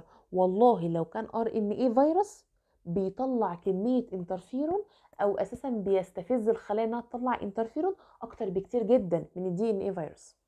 يبقى ال RNA محفز أقوى محفز أقوى إن الخلية تطلع انترفيرون عن ال DNA viruses طيب إنما الجاما آه sorry إن آه الجاما بقى اللي هي بتاعت ال type 2 دي بتحصل نتيجة antigenic أو mitogenic stimulation تمام؟ وبيعتبروها lymphokine ال lymphokine دي اللي إحنا قلناها من شوية اللي هي ال T lymphocytes بتطلعها تفرزها والكلام ده كله ماشي؟ فبيشتغلوا زي بعض. بيعتبروا معاملة بعض. عشان كده حتى في في ال slide اللي قبليها كنا قلنا إن ثواني أجيبها لكم. عشان إيه؟ أهي. الانترفيرون دي بت بت بتحمي الخلايا اللي حوالينا من الفيروس يشتغل زيها. من ال من الفيروس اللي موجود في الخلايا المصابة دي. ماشي؟ ثواني طيب إيه بقى كلمة antigenic أو mitogenic stimulation دي؟ antigenic يعني حاجة انتيجينيه يعني إيه انتيجينيه يعني في فيروس موجود. يعني حاجة آه antigenic يعني حاجة غريبة على الجسم حاجة أنا مش عارفه أعرفها. تمام؟ يبقى أنا معنى كده إن في حاجة دخلت جسمي الجسم استغربها شكلها غريب شكلها غريب على الجسم بتاعنا. فيلا نطلع انترفيرون ونروح نهاجمها. أمال كلمة mitogenic stimulation دي يعني إيه؟ يعني stimulation أو تحفيز بتاع السرطان بتاع الأورام بيجي يقول للخلية دي اقعدي اعملي cell division اقعدي اعملي cell division اقعدي اعملي cell division كتري عددك كتري عددك كتري عددك عشان في الآخر يقلب بينا الموضوع بفيروس. ماشي؟ فال interferon gamma برضو بتقوم طالعة عشان تسيطر تسيطر على الموضوع ده. يبقى ال interferon gamma بتطلع بسبب حاجتين يا إما في حاجة antigen حاجة غريبة فيلا نروح نقتله أو في حاجة عمالة تعمل زيادة في العدد قوي عمالة تعمل cell division كتير قوي هو في إيه؟ إحنا هنقلب الموضوع ب cancer ولا إيه؟ طب يلا نروح نلحق نسيطر على الموضوع. تمام؟ فدور ال interferon gamma هو كده. يبقى عندي نوعين. 1 و2 1 هو alpha و beta ودول بيطلعوا لو كان في RNA virus أكتر من DNA virus وكمان بيطلعوا بسبب ال bacteria endotoxin الجاما بتطلع من T lymphocytes وبتطلع بسبب antigenic أو mitogenic stimulation وبتعامل معاملة ال lymphokine ماشي. إيه بقى ال properties أو صفات ال interferons دي؟ صفاتها سهلة جدا. بصوا كده ال interferons دي low molecular weight وزنها قليل proteins و low antigenicity ماشي. تاني حاجة نوع ال interferons كلهم نفس الحجم. بس مش بيشتغلوا بنفس الشغل. ال antigenical بتاعتهم different يعني كلهم مش بيشتغلوا نفس الشغل. و low antigenicity يعني برضو دورهم مش فعال مش قوي قوي. ال antigenicity بتاعتهم ضعيفة شوية. يبقى هم أول حاجة وزنهم ضعيف وعندهم low antigenicity كلهم نفس الحجم بس مش كلهم بيشتغلوا نفس الشغل. تالت حاجة بتشتغل على الخلية. مش على الفيروس الانترفيرون بتشتغل على الخلية نفسها اللي متصابة بالفيروس مش بتشتغل على الفيروس نفسه مش بتعرف مش بتعرف تتحكم في الفيروس نفسه بتشتغل على الخلية. طب بتشتغل على الخلية بتاع الإنسان بتبوظها يعني؟ لا هي non toxic to the host cell الخلية المظلومة دي ملهاش علاقة بيها هي بت... يعني مش toxic ليها. ماشي؟ طيب رابع حاجة هي بتكون موجودة في الخلايا بس مش موجودة في الدم. ال interferons مش موجودة في الدم. مش بتلاقيها في الدم زي ال antibodies بتكون موجودة في الخلايا بس. خامس حاجة هي بتعرف تعيش عند ال acid pH عادي يعني لو كان في ال media acidic بتعرف تشتغل فيها بس بتموت بال trypsin ال trypsin انزيم ماشي؟ يبقى ليها خمس صفات. low molecular weight proteins و low antigenicity كلهم نفس الحجم تقريبا بس الشغل بتاعهم antigenically different بتشتغل على الخليه مش على الفيروس. موجودين في الخليه مش في الدم. بتشتغل عند ال acid pH وبتموت بالتريبسين. ماشي. بتشتغل إزاي طيب؟ هي بصوا كده هي نعتبرها بطل. إزاي نعتبرها بطل؟ عندي مثلا مثلا نقول زي إيه؟ في مثلا بيت. البيت ده فيه حرامية جم آه يقتلوا يقتلوا الناس اللي في البيت ده ويسرقوا اللي فيه. فالناس بتوع البيت دول يعني إيه خلاص عارفين إن هم كده كده مش هيقدروا على الحرامية دول. هيموتوا كده كده. فعشان ينقذوا الناس اللي حواليهم وجيرانهم بيبعتوا كده ابنهم الصغير روح نبههم عرفهم إن في حرامية فاعملوا حاجة اتصلوا بالبوليس احموا بيتكم علقوا بقى معرفش إيه اعملوا اللي تعملوه تحموا نفسكم إحنا كده كده ميتين. الانترفيرون هو الواد الصغير للمرسال ده. نفهم إيه من كده؟ إن أنا عندي خلية infected with virus بتطلع انترفيرون. يبقى الانترفيرون بيطلع منين؟ من الخلية اللي فيها فيروس بتطلع من الخلية اللي فيها فيروس. بتعمل إيه بعد ما تطلع منها؟ بتروح تنبه الخلية السليمة اللي حواليها خلي بالكم الخلية اللي جنبكم دي فيها فيروس. فالحقوا اعملوا نف... امنوا نفسكم طلعوا antibodies بقى طلعوا نادوا ال macrophage نادوا ال T cells اتصرفوا. المهم إيه؟ هي بتنبهه. ماشي؟ ماشي. هي بتمنع ال intracellular replication of virus in non infected cells مش في ال infected cell نفسها. هي بتروح تحمي الخلايا اللي لسه ما اتعدتش. بت... بتطلع proteins prevent translation of viral mRNA الفيروس لما بيبقى جوه الخلايا وبيبدأ يعمل replication بي... بيحول ال mRNA بتاعه ل DNA لو تفتكروا من ثانوي وهتاخدوها إن شاء الله في general virology اللي هي المحاضرة الثانية ماشي؟ آه هي بتمنع الخطوة دي بتمنع إن ال RNA تحول ل DNA بتمنع ال protein synthesis إنما الخطوات الثانية بتاعة ال viral replication بتتم عادي ماشي؟ هقول لكم الكلام ده برده كمان شوية معلش. الانترفيرون مش بتشتغل على الفيروس نفسه. has no effect on extracellular virus يعني لو في فيروس في الدم لو في فيروس في أي حتة تانية مالناش دعوة بيه. ماشي؟ ماشي. إيه بقى الشغل بتاعها؟ والله هي ليها ثلاث طرق من الشغل. حاجات antiviral حاجات immunomodulatory حاجات antiproliferative طب نفهم كده. إيه ال antiviral ال interferon أول حاجة بتعملها إنها بت interfere with virus multiplication بتغلس عليه بتغلس عليه إن هو يعمل multiplication في الخليه السليمة اللي حواليه interfere with virus multiplication تاني حاجة ال virally infected cell secrete interferon to protect non-infected neighboring cells إحنا قلنا الكلام ده من شوية. اللي الخلية اللي جواها الفيروس بتطلع الانترفيرون عشان تحمي جيرانها. طيب تالت حاجة الانترفيروس ده بيتفرز بدري جدا في أول 48 ساعة من المرض. أول 48 ساعة تلاقي الانترفيروس دي طلعت بكميات. تمام؟ آه وبتفضل موجودة طول ما المرض موجود. يعني طول ما المرض موجود الانترفيرون دي موجوده آخر حاجة هي مش virus specific but cell specific يعني إيه؟ يعني لو جالي فيروس نوعه RNA وفيروس نوعه DNA نفس نوع الانترفيرون هيطلع لده وهيطلع لده. نفس النوع. فهي مش virus specific ما عنديش انترفيرون للفيروس الفلاني وانترفيرون للفيروس العلاني. لا هما نفس النوع. أمال ال cell specific دي يعني إيه؟ يعني ال interferons بتاعة البشر مثلا مش زي ال interferons بتاعة الحيوانات. بس ده المقصود بالكلمة دي. هي not virus specific but cell specific ده معنى كلمة antiviral تاني حاجة هي ليها immunomodulatory action يعني إيه immunomodulatory action يعني بتعلي كفاءة المناعة بتاعتنا. الجاما انترفيرون دي لو طلعت بتشتغل شغل عالي قوي. والكلام ده هتشوفوه في ال cytokines تبع محاضرة ال immunity ماشي؟ يبقى أول دور هو ال antiviral واتكلمنا عن الأربع نقط بتاعته. تاني حاجة immunomodulatory يعني بتعلي كفاءة المناعة بتاعتنا. تالت حاجة ليها antiproliferative action يعني إيه antiproliferative action يعني بتمنع عمليات الورم التورم زيادة الحجم والعدد اللي هي نوعا ما بيقولوا ليها دور في علاج السرطانات. inhibit cell proliferation and tumor growth نمو الورم.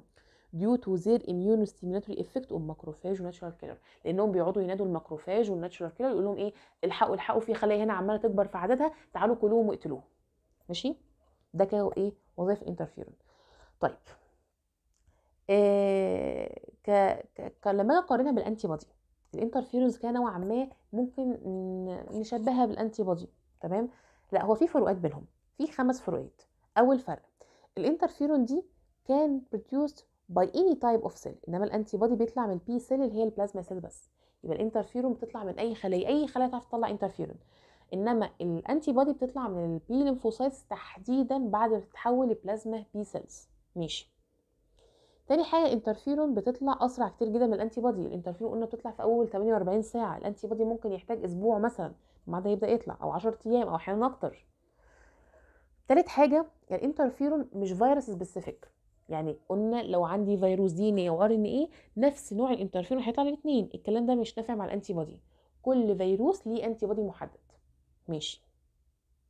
رابع حاجة الإنترفيرون بتعرف تعمل penetration للل living cells بتعرف تخش جوه الخلية مش بتشتغل في الدم. فاكرين؟ ال antibody كان إيه؟ كان العكس.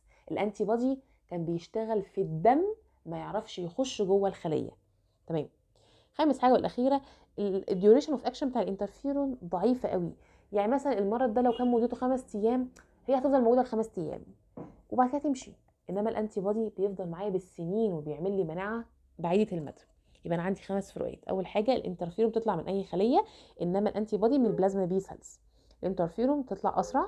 كمان بتقعد مدة أقصر بتطلع أسرع بس بتقعد مدة أقصر. الانترفيرون مش virus specific ال antibody specific الانترفيرون بتعرف تخش جوه الخلايا إنما ال antibody بيشتغل في الدم مش في الخلايا. تمام. طب استخداماتها الدوائية بقى استخداماتها الدوائية. والله ممكن أستخدمها ك prophylaxis كحماية. حماية من إيه يعني؟ من الأول كده أنا عارف إن الانترفيرون كده إن الانترفيرون دي بتحمي ال non-infected cells من الفيروس. فأنا ممكن أدخلها قبل ما أصلا الفيروس يخش الجسم فاهمين؟ فهي كده هتحمي كل الخلايا كل الخلايا تبقى محمية. يعني إيه؟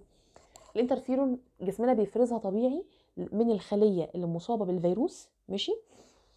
آه وبتحمي الخلايا اللي حواليها. بس أنا كده عندي عدد ضحايا عندي عدد ضحايا اللي هو الخلايا المصابة بالفيروس. طب ما أنا أمنع الخطوة دي من الأول خالص وأحقن الإنسان ده interferons عشان ما يصابش الفيروس ماشي؟ دي prophylaxis. تاني حاجة ليها بتعمل treatment لل viral infection بتاع ال papilloma virus وال hepatitis B و C virus وكمان ال herpetic keratoconjunctivitis يعني إيه؟ هي بتستخدم كدواء بتتعمل أدوية كده لعلاج مرض ال papilloma ال papilloma ده اللي هو بيعمل ورم على الإيد الورم حميد يعني. وكمان بيعالج في فيروس الكبد وكمان بستخدمها في ال herpetic keratoconjunctivitis اللي هو الالتهاب اللي بيجي في القرنية والملتحمة بسبب ال herpes virus. يعني الانترفيرون لقوا إنها إيه بتعمل استجابة حلوة مع الأمراض دي. طيب ممكن أستخدمها لإيه تاني؟ ممكن يعني في بعض الشركات بتحاول تدمجها مع دواء اسمه zidovudine zidovudine يعالجوا بيه الإيدز. يبقى أنا عندي ممكن يعملوا في بعض الشركات بتعمل كده أدوية فيها mix ما بين ال interferon و zidovudine ويعالجوا بيه الايدز رابع حاجة بستخدمها ك prophylaxis برضو ضد ال cytomegalovirus infection مع العيانين مش أي cytomegalo وخلاص مش أي حد اديله كده لأ.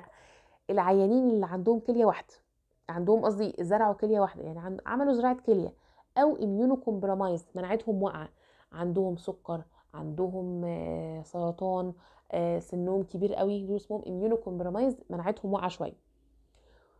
قبل ما يتصابوا بال herpes simplex أو الفيروسات دي كلها. يبقى أنا بديها ك prophylaxis ضد ال cytomegalovirus وال herpes simplex virus وال varicella zoster virus. تمام؟ prophylaxis برضو prophylaxis ماشي.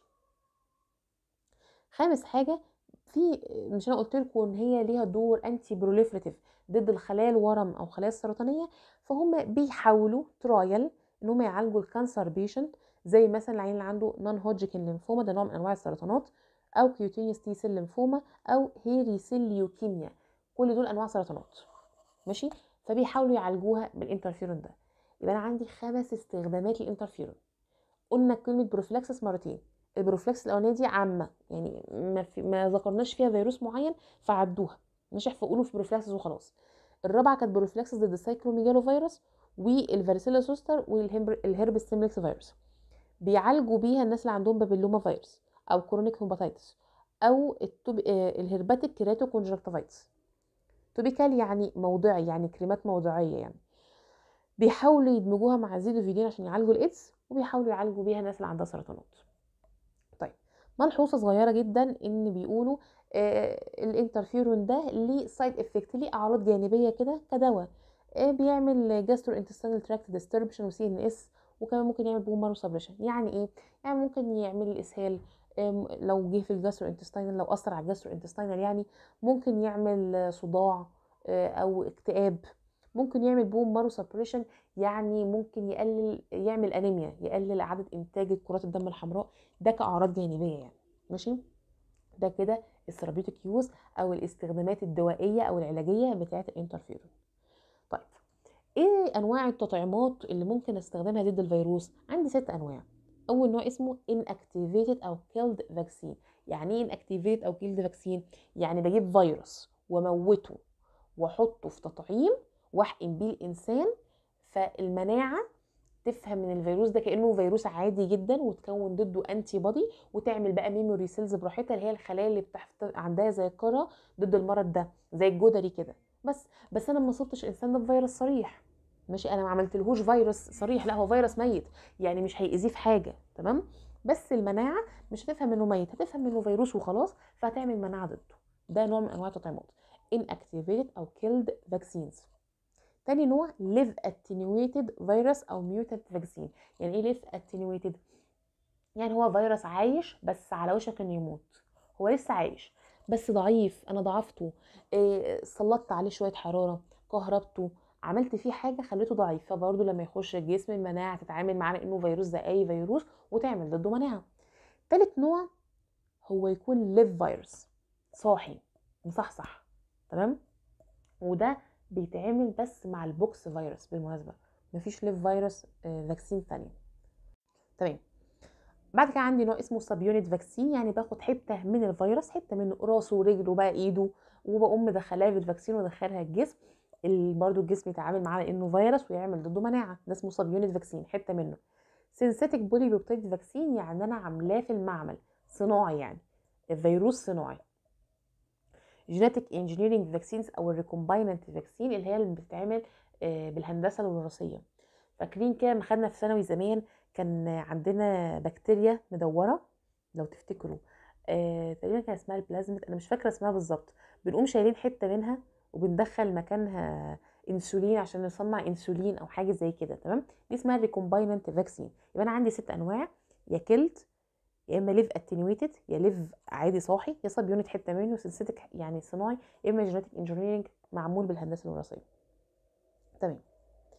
دي بقى آخر حاجة في المحاضرة الحمد لله آه اللي هي الأدوية. بس عشان نفهم الأدوية لازم نفهم ال viral replication ال viral replication مشروح بالتفصيل في الجزء الثاني بتاعة المحاضرة دي تمام؟ بس أنا هديكم بس نبذة عامة عنه آه نبذة عامة عنه عشان هنحتاجها دلوقتي في الأدوية. أول حاجة الفيروس عشان يخش الخلية أول حاجة بيعملها هو يعمل attachment بيمسك في الخلية بتاعتنا من بره. بعدين بيعمل penetration بيخش يخترق. بعد ما عمل penetration بيعمل uncoating بيقلع كل الحاجات اللي معاه.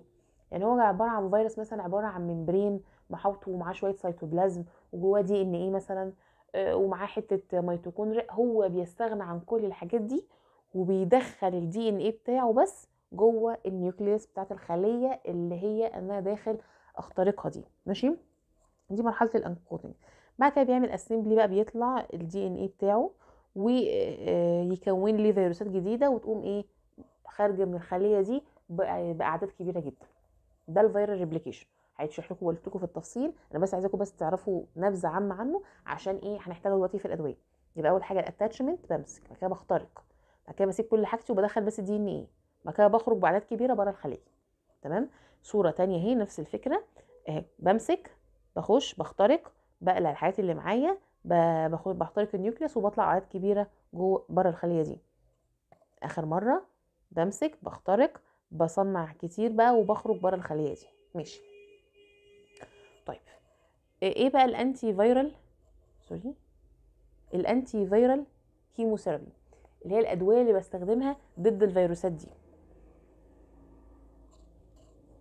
هما حاجة من ثلاثة حاجة من ثلاثة يا إما همنع خطوة ال attachment دي إن أنا أساسا أمسك إن الفيروس يمسك في الخلية من بره. يا إما يا إما هيمنع خطوة ال uncoating إن هو يقلع الحاجات اللي معاه كلها ويسيبها. يا إما الاتنين مع بعض ده أول نوع من الأدوية. هيمنع خطوة إنه يمسك أو هيمنع خطوة إنه يقلع الحاجات اللي معاه دي ال uncoating يا إما هيمنع الاتنين في نفس الوقت. ده أول نوع. تاني نوع من الأدوية هيمنع الاختراق ال penetration وال uncoating في نفس الوقت. هيمنع الاختراق ال penetration وال uncoating في نفس الوقت. تالت نوع هيمنع ال viral replication هيمنع إن الفيروس يعمل تضاعفات ويستغل ال nucleus لصالحه ويقعد يزود في العدد بتاعه ده. هيمنع الكلام ده. ماشي؟ ماشي. طيب. المفروض آه إن أنا شرحت لكم في محاضره الانتي فيرال وهتشرح في الفارما إن شاء الله وهنقولها هنا دلوقتي برضو. تمام؟ آه نقرأ نعيد الأسماء كتير هتتحفظ إن شاء الله. ماشي؟ نفتكر بس التقسيمة أنا مطلوب مني في كل حاجة من دول أعرف اسم الدواء تبع انهي تقسيمة. ماشي؟ ماشي. أول مجموعة اللي هي هتمنع إن هو يمسك أو ال uncoating أو الاتنين مع بعض. ماشي. هما ناخدها حاجة حاجة. أول دواء عندي اسمه anti gp 120 و recombinant CD 4 anti gp 120 و recombinant CD 4 دول بستخدمهم لعلاج ال HIV فيروس anti gp 120 recombinant CD 4 دول لل HIV فيروس كرروا معايا يعني يا ريت قدر الإمكان عشان نحفظه ماشي؟ ماشي. تاني دواء اسمه recombinant ايس ICAM واحد. recombinant ICAM واحد ده بستخدمه لل rhinovirus. تاني anti gp 120 و recombinant CD 4 دول بتوع ال HIV recombinant ICAM واحد ده لل rhinovirus. neuraminidase inhibitor اللي هو zanamivir للإنفلونزا و B. للإنفلونزا A و B. zanamivir تمام؟ طيب.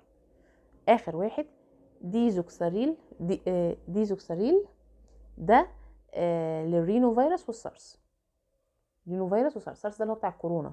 ماشي؟ disoxaril. نقولهم تاني. anti gp 120 و recombinant CD 4 بتوع ال HIV recombinant ICAM واحد بتاع ال rhinovirus. neuraminidase inhibitor هو ال zanamivir بتاع الإنفلونزا A و B disoxaril بتاع ال rhino والسارس ماشي. طب فاكرين بقى اللي بتمنع ال penetration وال uncoating في نفس الوقت؟ هو دواء واحد. amantadine و rimantadine. amantadine و rimantadine. amantadine و rimantadine. دول الإنفلونزا A فيروس. يعتبر ده أهم حاجة في ال slide دي أصلا. هو لو بيجي أسئلة في ال slide دي بتيجي دايما في السؤال ده. amantadine و rimantadine بتوع الإنفلونزا A فيروس تاني بمنع attachment و uncoating anti gp 120 recombinant CD 4 ال HIV recombinant ICAM واحد؟ بتاع ال rhino. neuraminidase inhibitor اللي هو ال zanamivir بتاع إنفلونزا A و B disoxaril بتاع ال rhinovirus وسارس amantadine و rimantadine بتاع الإنفلونزا A فيروس خلاص؟ ماشي. بعد كده عندي اللي بيمنعوا ال viral replication ليهم كذا تقسيمة ليهم خمس تقسيمات. أول واحدة همنع ال DNA polymerase ده انزيم كان اسمه DNA polymerase مهم في عملية ال viral replication ماشي؟ حاجة من حاجتين نوعين من الأدوية. حاجة اسمها nucleoside analogue وحاجة اسمها nucleotide analogue nucleoside analogue و nucleotide analogue ال nucleoside analogue دول كذا دواء. دواء اسمه IDU اللي هو 5 iodo 2 deoxyuridine بتاع ال herpes simplex وال varicella zoster. الأربعة اللي جايين دول كلهم نفس الحاجة. الأسايكلوفير أو vidarabine أو gan ganciclovir أو famciclovir كلهم نفس الوظيفة دي. تاني سهلة دي acyclovir و vidarabine و ganciclovir و famciclovir كلهم بيعملوا الوظيفة دي. إيه بقى الوظيفة دي؟ بستخدمه لل herpes keratitis اللي هي التهاب القرنية بسبب الهربس فيروس. وبحطه بحقنه في حالات ال encephalitis التهاب المخ. وال severe herpes simplex في الناس اللي مناعتها واقعة. herpes simplex اللي هو الخفيف اللي هو بتاع الشتاء ده بس إيه ناس مناعتها واقعة فهيجيبهم من الأرض يعني. ماشي؟ تاني دلوقتي بقول تقسيمة إيه؟ ال viral replication. في أول تقسيمة اللي هي ال DNA polymerase inhibitor في ال nucleoside side analogue. عندي IDU ده بتاع ال herpes simplex وال varicella zoster. عندي أربع أدوية ليهم نفس الدور herpes keratitis encephalitis و severe herpes simplex. طيب nucleotide analog بقى هو ده واحد cidofovir cidofovir ده برضو بتاع ال cytomegalovirus وال herpes simplex. cytomegalovirus و herpes simplex virus. cidofovir cidofovir cytomegalovirus و herpes simplex virus. أنا في inhibit viral replication DNA polymerase inhibitor nucleoside analog و nucleotide analog ال nucleotide هو ال cytomegalo وال herpes simplex ده اسمه cidofovir. ال nucleoside أربعة بيشتغلوا نفس الوظيفة و IDU بتاع ال herpes simplex وال varicella zoster. ماشي. تاني تقسيمة جواه. الأولاني كنت بمنع ال DNA polymerase هنا همنع الريفرس ترانسكريبتيز الريفرس ترانسكريبتيز ده اللي هو اللي بيحول ال RNA لل DNA ده خطوة خطوة مهمة من خطوات إن الفيروس ينجح في اختراق الخلية. ماشي؟ ماشي. نيوك فاكرين هناك كان nucleoside و nucleotide؟ هنا إيه؟ nucleoside و non-nucleoside هو مش nucleotide. هو nucleoside و non-nucleoside بس كده. نيوكليوسايد أنالوج ونون نيوكليوسايد ريفرس ترانسكريبتيز انهبيتور ماشي. مين هما؟ ال nucleoside هما اتنين. zidovudine و didanosine و stavudine دول بتوع ال HIV zidovudine و didanosine و stavudine بتوع ال HIV وفي lamivudine ده بتاع الهربس آه hepatitis B virus. hepatitis B virus. يبقى تاني. lamivudine بتاع ال hepatitis B. ال zidovudine و didanosine و stavudine ده بتاع ال HIV virus. ماشي. ال non-nucleoside هو واحد وده مهم بقى. الحاجة تلاقوا فيها حاجة واحدة دي مهمة. nevirapine. يبقى ال nevirapine ده عبارة عن نون نيوكليوسايد ريفرس ترانسكريبتيز انهبيتور اللي بيمنع ال viral replication ال nevirapine ده مهم ده مهم. بتاع ال nucleoside non-nucleoside قصدي بتاع الريفرس ترانسكريبتيز انهبيتور بتاع الفيرال ريبليكيشن خطوة الفيرال ريبليكيشن دي. ماشي؟ ماشي. آخر تقسيمة آخر تقسيمة آخر ثلاثة هنقولهم هنا. يا إما همنع ال mRNA synthesis حاجة بتمنع الام ار ان اي ده ام ار ان اي سينسس انهبيتور. دواء اسمه ribavirin. ده بيستخدم في علاج الإنفلونزا وال RSV وال HCV. وعندي دواء تاني اسمه foscarnet. ده مهم. foscarnet بتاع ال cytomegalo وال HIV. foscarnet بتاع ال cytomegalo وال HIV. mRNA synthesis inhibitor. بعد كده عندي protease inhibitor. ده دواء واحد بس أو يعني تقسيمة واحدة. saquinavir ritonavir indinavir كلهم لل HIV. saquinavir ritonavir و indinavir ده لل HIV آخر حاجة protein synthesis inhibitor بمنع خطوة تكوين البروتين اللي هيحوط الفيروس دي آخر خطوة خالص في تكوين الفيروس اللي هيخرج بقى من الخليه ويعيش بقى ويدمر الجسم. ده ملوش أسماء ملوش أسماء. بس دوره زي دور الانترفيرون بالظبط. ماشي؟ protein synthesis inhibitor protein synthesis inhibitor يبقى أنا عندي آخر ثلاثة mRNA synthesis inhibitor protease inhibitor و protein synthesis inhibitor mRNA synthesis inhibitor و protease inhibitor و protein synthesis inhibitor ال protease inhibitor هو saquinavir و ritonavir و indinavir ال HIV mRNA synthesis inhibitor ribavirin و foscarnet. دول الدوايين دول. كده إحنا خلصنا. ماشي؟ طيب. آه في حاجة آه كنت حابة أعملها لكم بس رجعت قلت اللي يفضل أنتوا اللي تعملوها هتشغل آه عندكم ال photo memory أحسن كتير. عايزاكم في ورقة كده تجمعوا كل فيروس وتكتبوا تحتيه أسماء الأدوية اللي قلناها دلوقتي. أنا كنت هعملها لكم. بس يعني حبيت أنتوا اللي تعملوها عشان. يعني إيه آه الموضوع ده حي... هيحفظكم أسرع برضو شوية. هي مشكلة الحتة دي إنها محتاجة حفظ كتير. ماشي؟ بس هي إن شاء الله ما هتتعاد في كذا محاضرة عادي. اعملوا الورقة دي وإن شاء الله بجد إيه هيكون الموضوع معاكم بسيط وسهل إن شاء الله. تمام؟ كده إحنا خلصنا. هفر فرة سريعة بس كده على المحاضرة نقول بس قلنا فيها إيه وبعدين في الآخر هنكون خلصنا.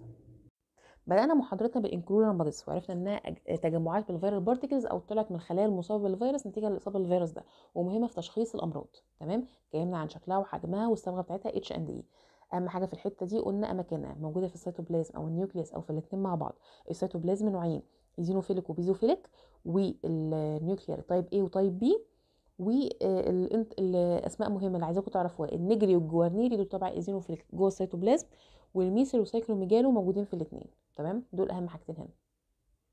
اتكلمنا بعديها عن تعريفات مهمة.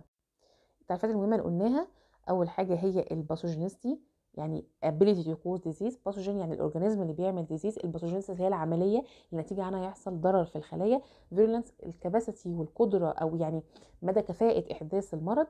وال extent بيعتمد على ثلاث حاجات جرعة الفيروس والطريق اللي دخل منه وال replication efficiency بعدين قلنا عشان يبقى عندي مرض لازم يكون عندي بوابة وطريق و organ في الآخر.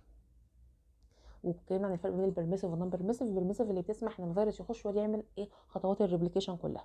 تمام. فقلنا dissemination of infection يا إما local يا إما systemic local يعني في مكاني. systemic يعني هيمشي في الدم. وقلنا أهم ثلاث أمثلة البوليو آه سوري آه البوليو والمامبس والميسلز بعديها اتكلمنا على ال pathogenesis والفيروس قلنا على مستويين على مستوى ال cell هيحصل فيها إيه وال host هيحصل فيه إيه. على مستوى ال cell قلنا هيحصل 11 حاجة death و lysis و fusion و cluster أو clumps inclusion body formation malignant transformation قلنا كمان بيحصل حاجات تانية اللي هي الريبليكيشن وزاوت هيستولوجيكال تشينجز الفيرال انتيجين الليتنسي والانترفيرنس والبالونينج بتاع الفيروس. على مستوى ال host هو حاجة من حاجتين بس يا إما degenerative lesions يا إما هيعمل تدمير يا إما هيعمل proliferative hyperplasia زيادة في العدد. ده بتاع ال papilloma بعدها قلنا عندي خمس أشكال من المرض يا إما يكون apparent disease يعني الأعراض ظاهرة يا إما يكون inapparent الأعراض مش ظاهرة عليا. chronic يعني مستمرة معايا سنين طويلة. latent يعني آه بيطلع وبين يعني بيظهر عليه الأعراض وبعد كده بينام تاني ويظهر عليه الأعراض وينام تاني. وال slow هو بياخد سنين طويلة حوالي 10 سنين قلنا مثال في الحتة دي ال HIV وادي شكل ال diagram اللي بيوضح الموضوع ده. بعدها اتكلمنا عن ال البوري البريون وقلنا ده مش فيروسات دي حاجات إيه بروتينات كده من غير nucleic acid جواها آه اللي بيموتها ال hypochlorite وال NaOH وال autoclaving بس كده. بعد كده اتكلمنا عن ال classification وال nomenclature of the viruses تمام. قلنا عندي كذا تقسيمة. أول حاجة يا إما حسب ال nucleic acid أو حسب ال size أو حسب ال symmetry حسب وجود envelope من عدمه وحسب نوع المرض اللي بيسببه يا ترى هو جنرال بيجي في أي مكان في الجسم ولا بيليه organ معين بيصيبه. تمام؟ بعد كده اتكلمنا عن طريقة تسمية الفيروسات وقلنا أنا عندي آه طريقة من خمسة يا إما حسب آه اسم المرض نفسه يا إما حسب أول حتة في اسمه شكل الفيروس البلد اللي ظهر فيها والعالم اللي اكتشفها. تمام. بعد كده اتكلمنا عن ال immunity واتكلمنا عن أربع حاجات ال macrophage وقلنا ده دوره الاساسي إن هو يعني عنده ability prevent ال intracellular replication بتاع الفيروس. اتكلمنا عليه عن ال antibody mediated immunity وده بيشتغل في الدم بس قلنا بنحتاج تحديدا ال IgG وال IgM قبل ما يخش جوه الخلايا وبيعمل لي long lasting immunity كمان لو كان بيعمل replication في ال mucous membrane زي المناخير أو الأنف مثلا بيجي هنا دور ال secretory IgA مش ال IgM ولا ال IgG وهنا ال vaccine ملوش أي لازمة ولا له أي دور. ليه؟ لأن هو ليه ما بيحصلش عندي مناعة بعيدة المدى؟ لأن الاي جي اي ده طبيعته إن هو ضعيف. الإنفلونزا فيروس عموما مثلا كمثال على النقطة دي ليه أشكال كتير وكل شوية بيطور من نفسه. بعد كده عن ال cell mediated immunity قلنا أربع خلايا. ال TC cell اللي هي بتقتل زيها زي ال natural killer بس ال natural killer بتحتاج انترفيرون أو interleukin 2 ال helper T cell بيطلع lymphokines بتنادي لل macrophages وكمان بتنادي ال interferon gamma وال ADCC اللي هو ال antibody dependent cellular toxicity اللي هو الايه اللي هو ميثاق الحرامي ده. ماشي؟ بعدها الانترفيرون قلنا دي حاجات glyc آه glycoproteins يعني في منها نوعين type 1 و type 2 وقلنا type 1 ده type 1 في منه نوعين alpha و beta ودول بيطلعوا نتيجة فيروسات أو toxins من بكتيريا وال type 2 اللي هو الجاما بيطلع من T lymphocyte نتيجة antigenic أو mitogenic وزيه زي ال lymphokines اتكلمنا عن ال properties بتاعت ال interferons قلنا إن هو له molecular weight proteins وله antigenicity كلهم تقريبا نفس الحجم بس مش كلهم نفس الشغل. هما مش مضرين للخلايا اللي بيشتغلوا فيها مش بيشتغلوا على الفيروس نفسه مش موجودين في الدم وبيشتغلوا عند ال acid pH وبي بي inactivate وا أو بيموتوا بالتريبسين بيشتغلوا إزاي؟ هما ملهمش دور على ال extracellular virus ولا في الدم. هما بيطلعوا من ال infected cells بيحموا ال non-infected cells آه دي أنا دول اللي أنا المعلومه اللي أنا عديتها عشان كنت عايزة اشرح لكم الأول viral replication هما بيشتغلوا على ال viral replication إنما الخطوات اللي في الأول هي بتاعة ال attachment وال penetration وال uncoating كل دول بيحصلوا عادي. يعني كل الخطوات دي بتتم. مجرد ما الفيروس دخل جوه هو بيقوم إيه مبوظ الخطوة بتاعة ال viral replication دي. ماشي. كده اتكلمنا عن ال activities بتاعته وقلنا عندي ك antiviral ليه أربع أدوار اسمهم interference عشان بيغلسوا على الفيروس بي interfere على الفيروس. كمان بتطلع من ال infected تحمي ال non-infected بتطلع سريعا جدا في اول 48 ساعة. هي not virus specific بس cell specific ليها دور immunomodulatory يعني بتعلي كفاءة المناعة بتاعتنا بال gamma interferon ليها antiproliferative action ضد الأورام. عشان كده آه ثواني بقى قلنا المقارنة. آه لما نيجي نقارنها بال antibodies آه الانترفيرون دي بتطلع من أي خليه ال antibody بتطلع من ال plasma B cells ال interferon آه بتطلع أسرع بس بتقعد مدة أقصر. الانترفيرون مش virus specific بس ال antibody virus specific ال interferon بتشتغل في الخلايا إنما ال antibody ما يعرفش يعمل الكلام ده.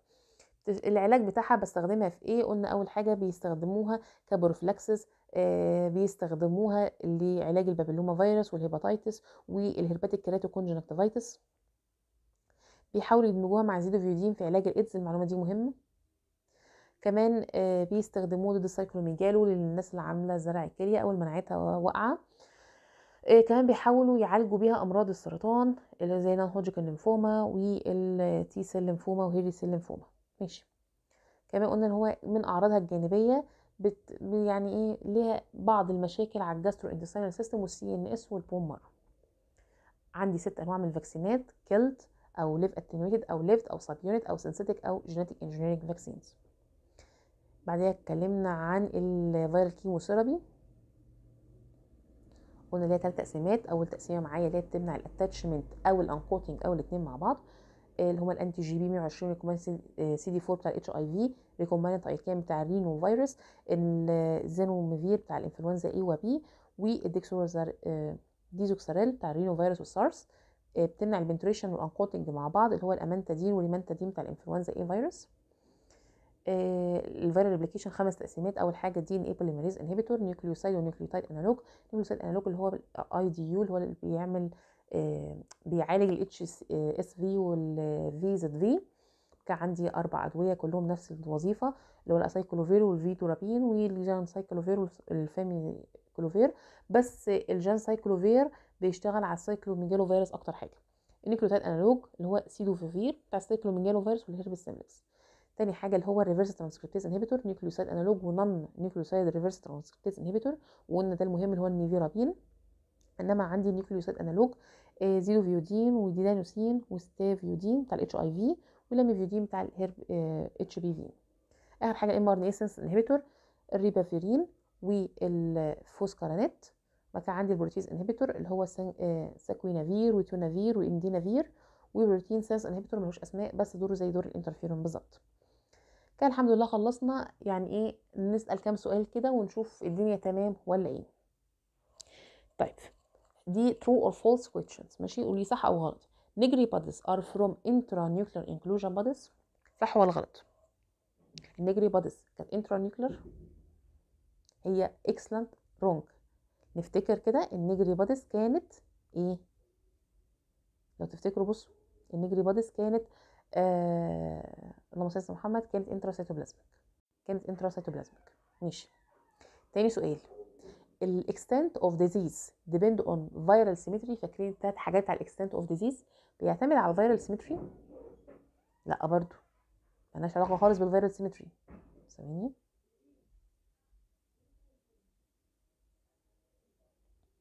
virus dose route of entry وال replication efficiency طيب تالت سؤال. ال cell lysis is from viral pathogenicity at host level. طبعا غلط. ده كان على مستوى ال cellular level مش ال host level تمام. بعديها قلنا آه ال subclinical infection mean in which there is viral infection with overt signs أو symptoms. overt يعني واضحة. ال signs وال symptoms كانت واضحة. لا برضو. ده كان ال الوضع اللي ما كانش فيه ال signs باينة خالص اللي هو اللي كان بيتحط في مكان كده وما نعرفش إن هو عيان ولا لأ. طيب Prions are infectious protein particles that are composed of protein with detectable nucleic acid. صح ولا غلط؟ غلط. ال nucleic acid هي من غير nucleic acid no detectable nucleic acid. ماشي. The effect, uh, effectiveness of macrophage in limiting viral infections depend upon their ability to prevent intracellular replication of virus. صح برافو ده دور بالظبط ال macrophage اللي إحنا قلناه هنا ال effectiveness اللي هم اخر سطرين دول تمام السوبرفيشال انفكشن ار نوت followed باي لونج لاستنج immunity صح ولا غلط صح اهي superficial infection not followed by long lasting immunity صح ماشي interferon have no direct effect on extracellular virus صح ولا غلط interferon have no direct effect on extracellular virus صح ماشي interferon is produced early after viral infection less than 48 hours and persists as long as the stimulus present صح ولا غلط صح برضو اهي قلناها هنا تمام؟ عملنا نخلص interferon produced more slowly than antibody formation. غلط طبعا غلط طبعا. الانترفيرون تتفرز أسرع كتير than ال antibody formation تمام. interferon has toxic effect on gastrointestinal tract. صح؟ صح؟ دي كانت من أعراضها الجانبية. هي سوت ال toxic effect on gastrointestinal tract فعلا. آخر حاجة amantadine inhibit penetration and uncoating صح برضو. أي ال amantadine inhibit penetration and uncoating شكرا ليكم يا دكاترة. الحمد لله كده خلصنا. أتمنى يكون الموضوع اتبسط وبقى سهل معاكم بعتذر جدا لو طولت. أنا حاولت بس أفهمكم كل حاجة قدر الإمكان. إن شاء الله يكون الأمور وضحت والمعلومات وضحت يعني وربنا يوفقكم يا رب. وبإذن الله نسمع عنكم كل خير والامتحانات تكون بسيطة وسهلة جدا إن شاء الله. شكرا. شكرا على وقتكم. والسلام عليكم ورحمة الله وبركاته.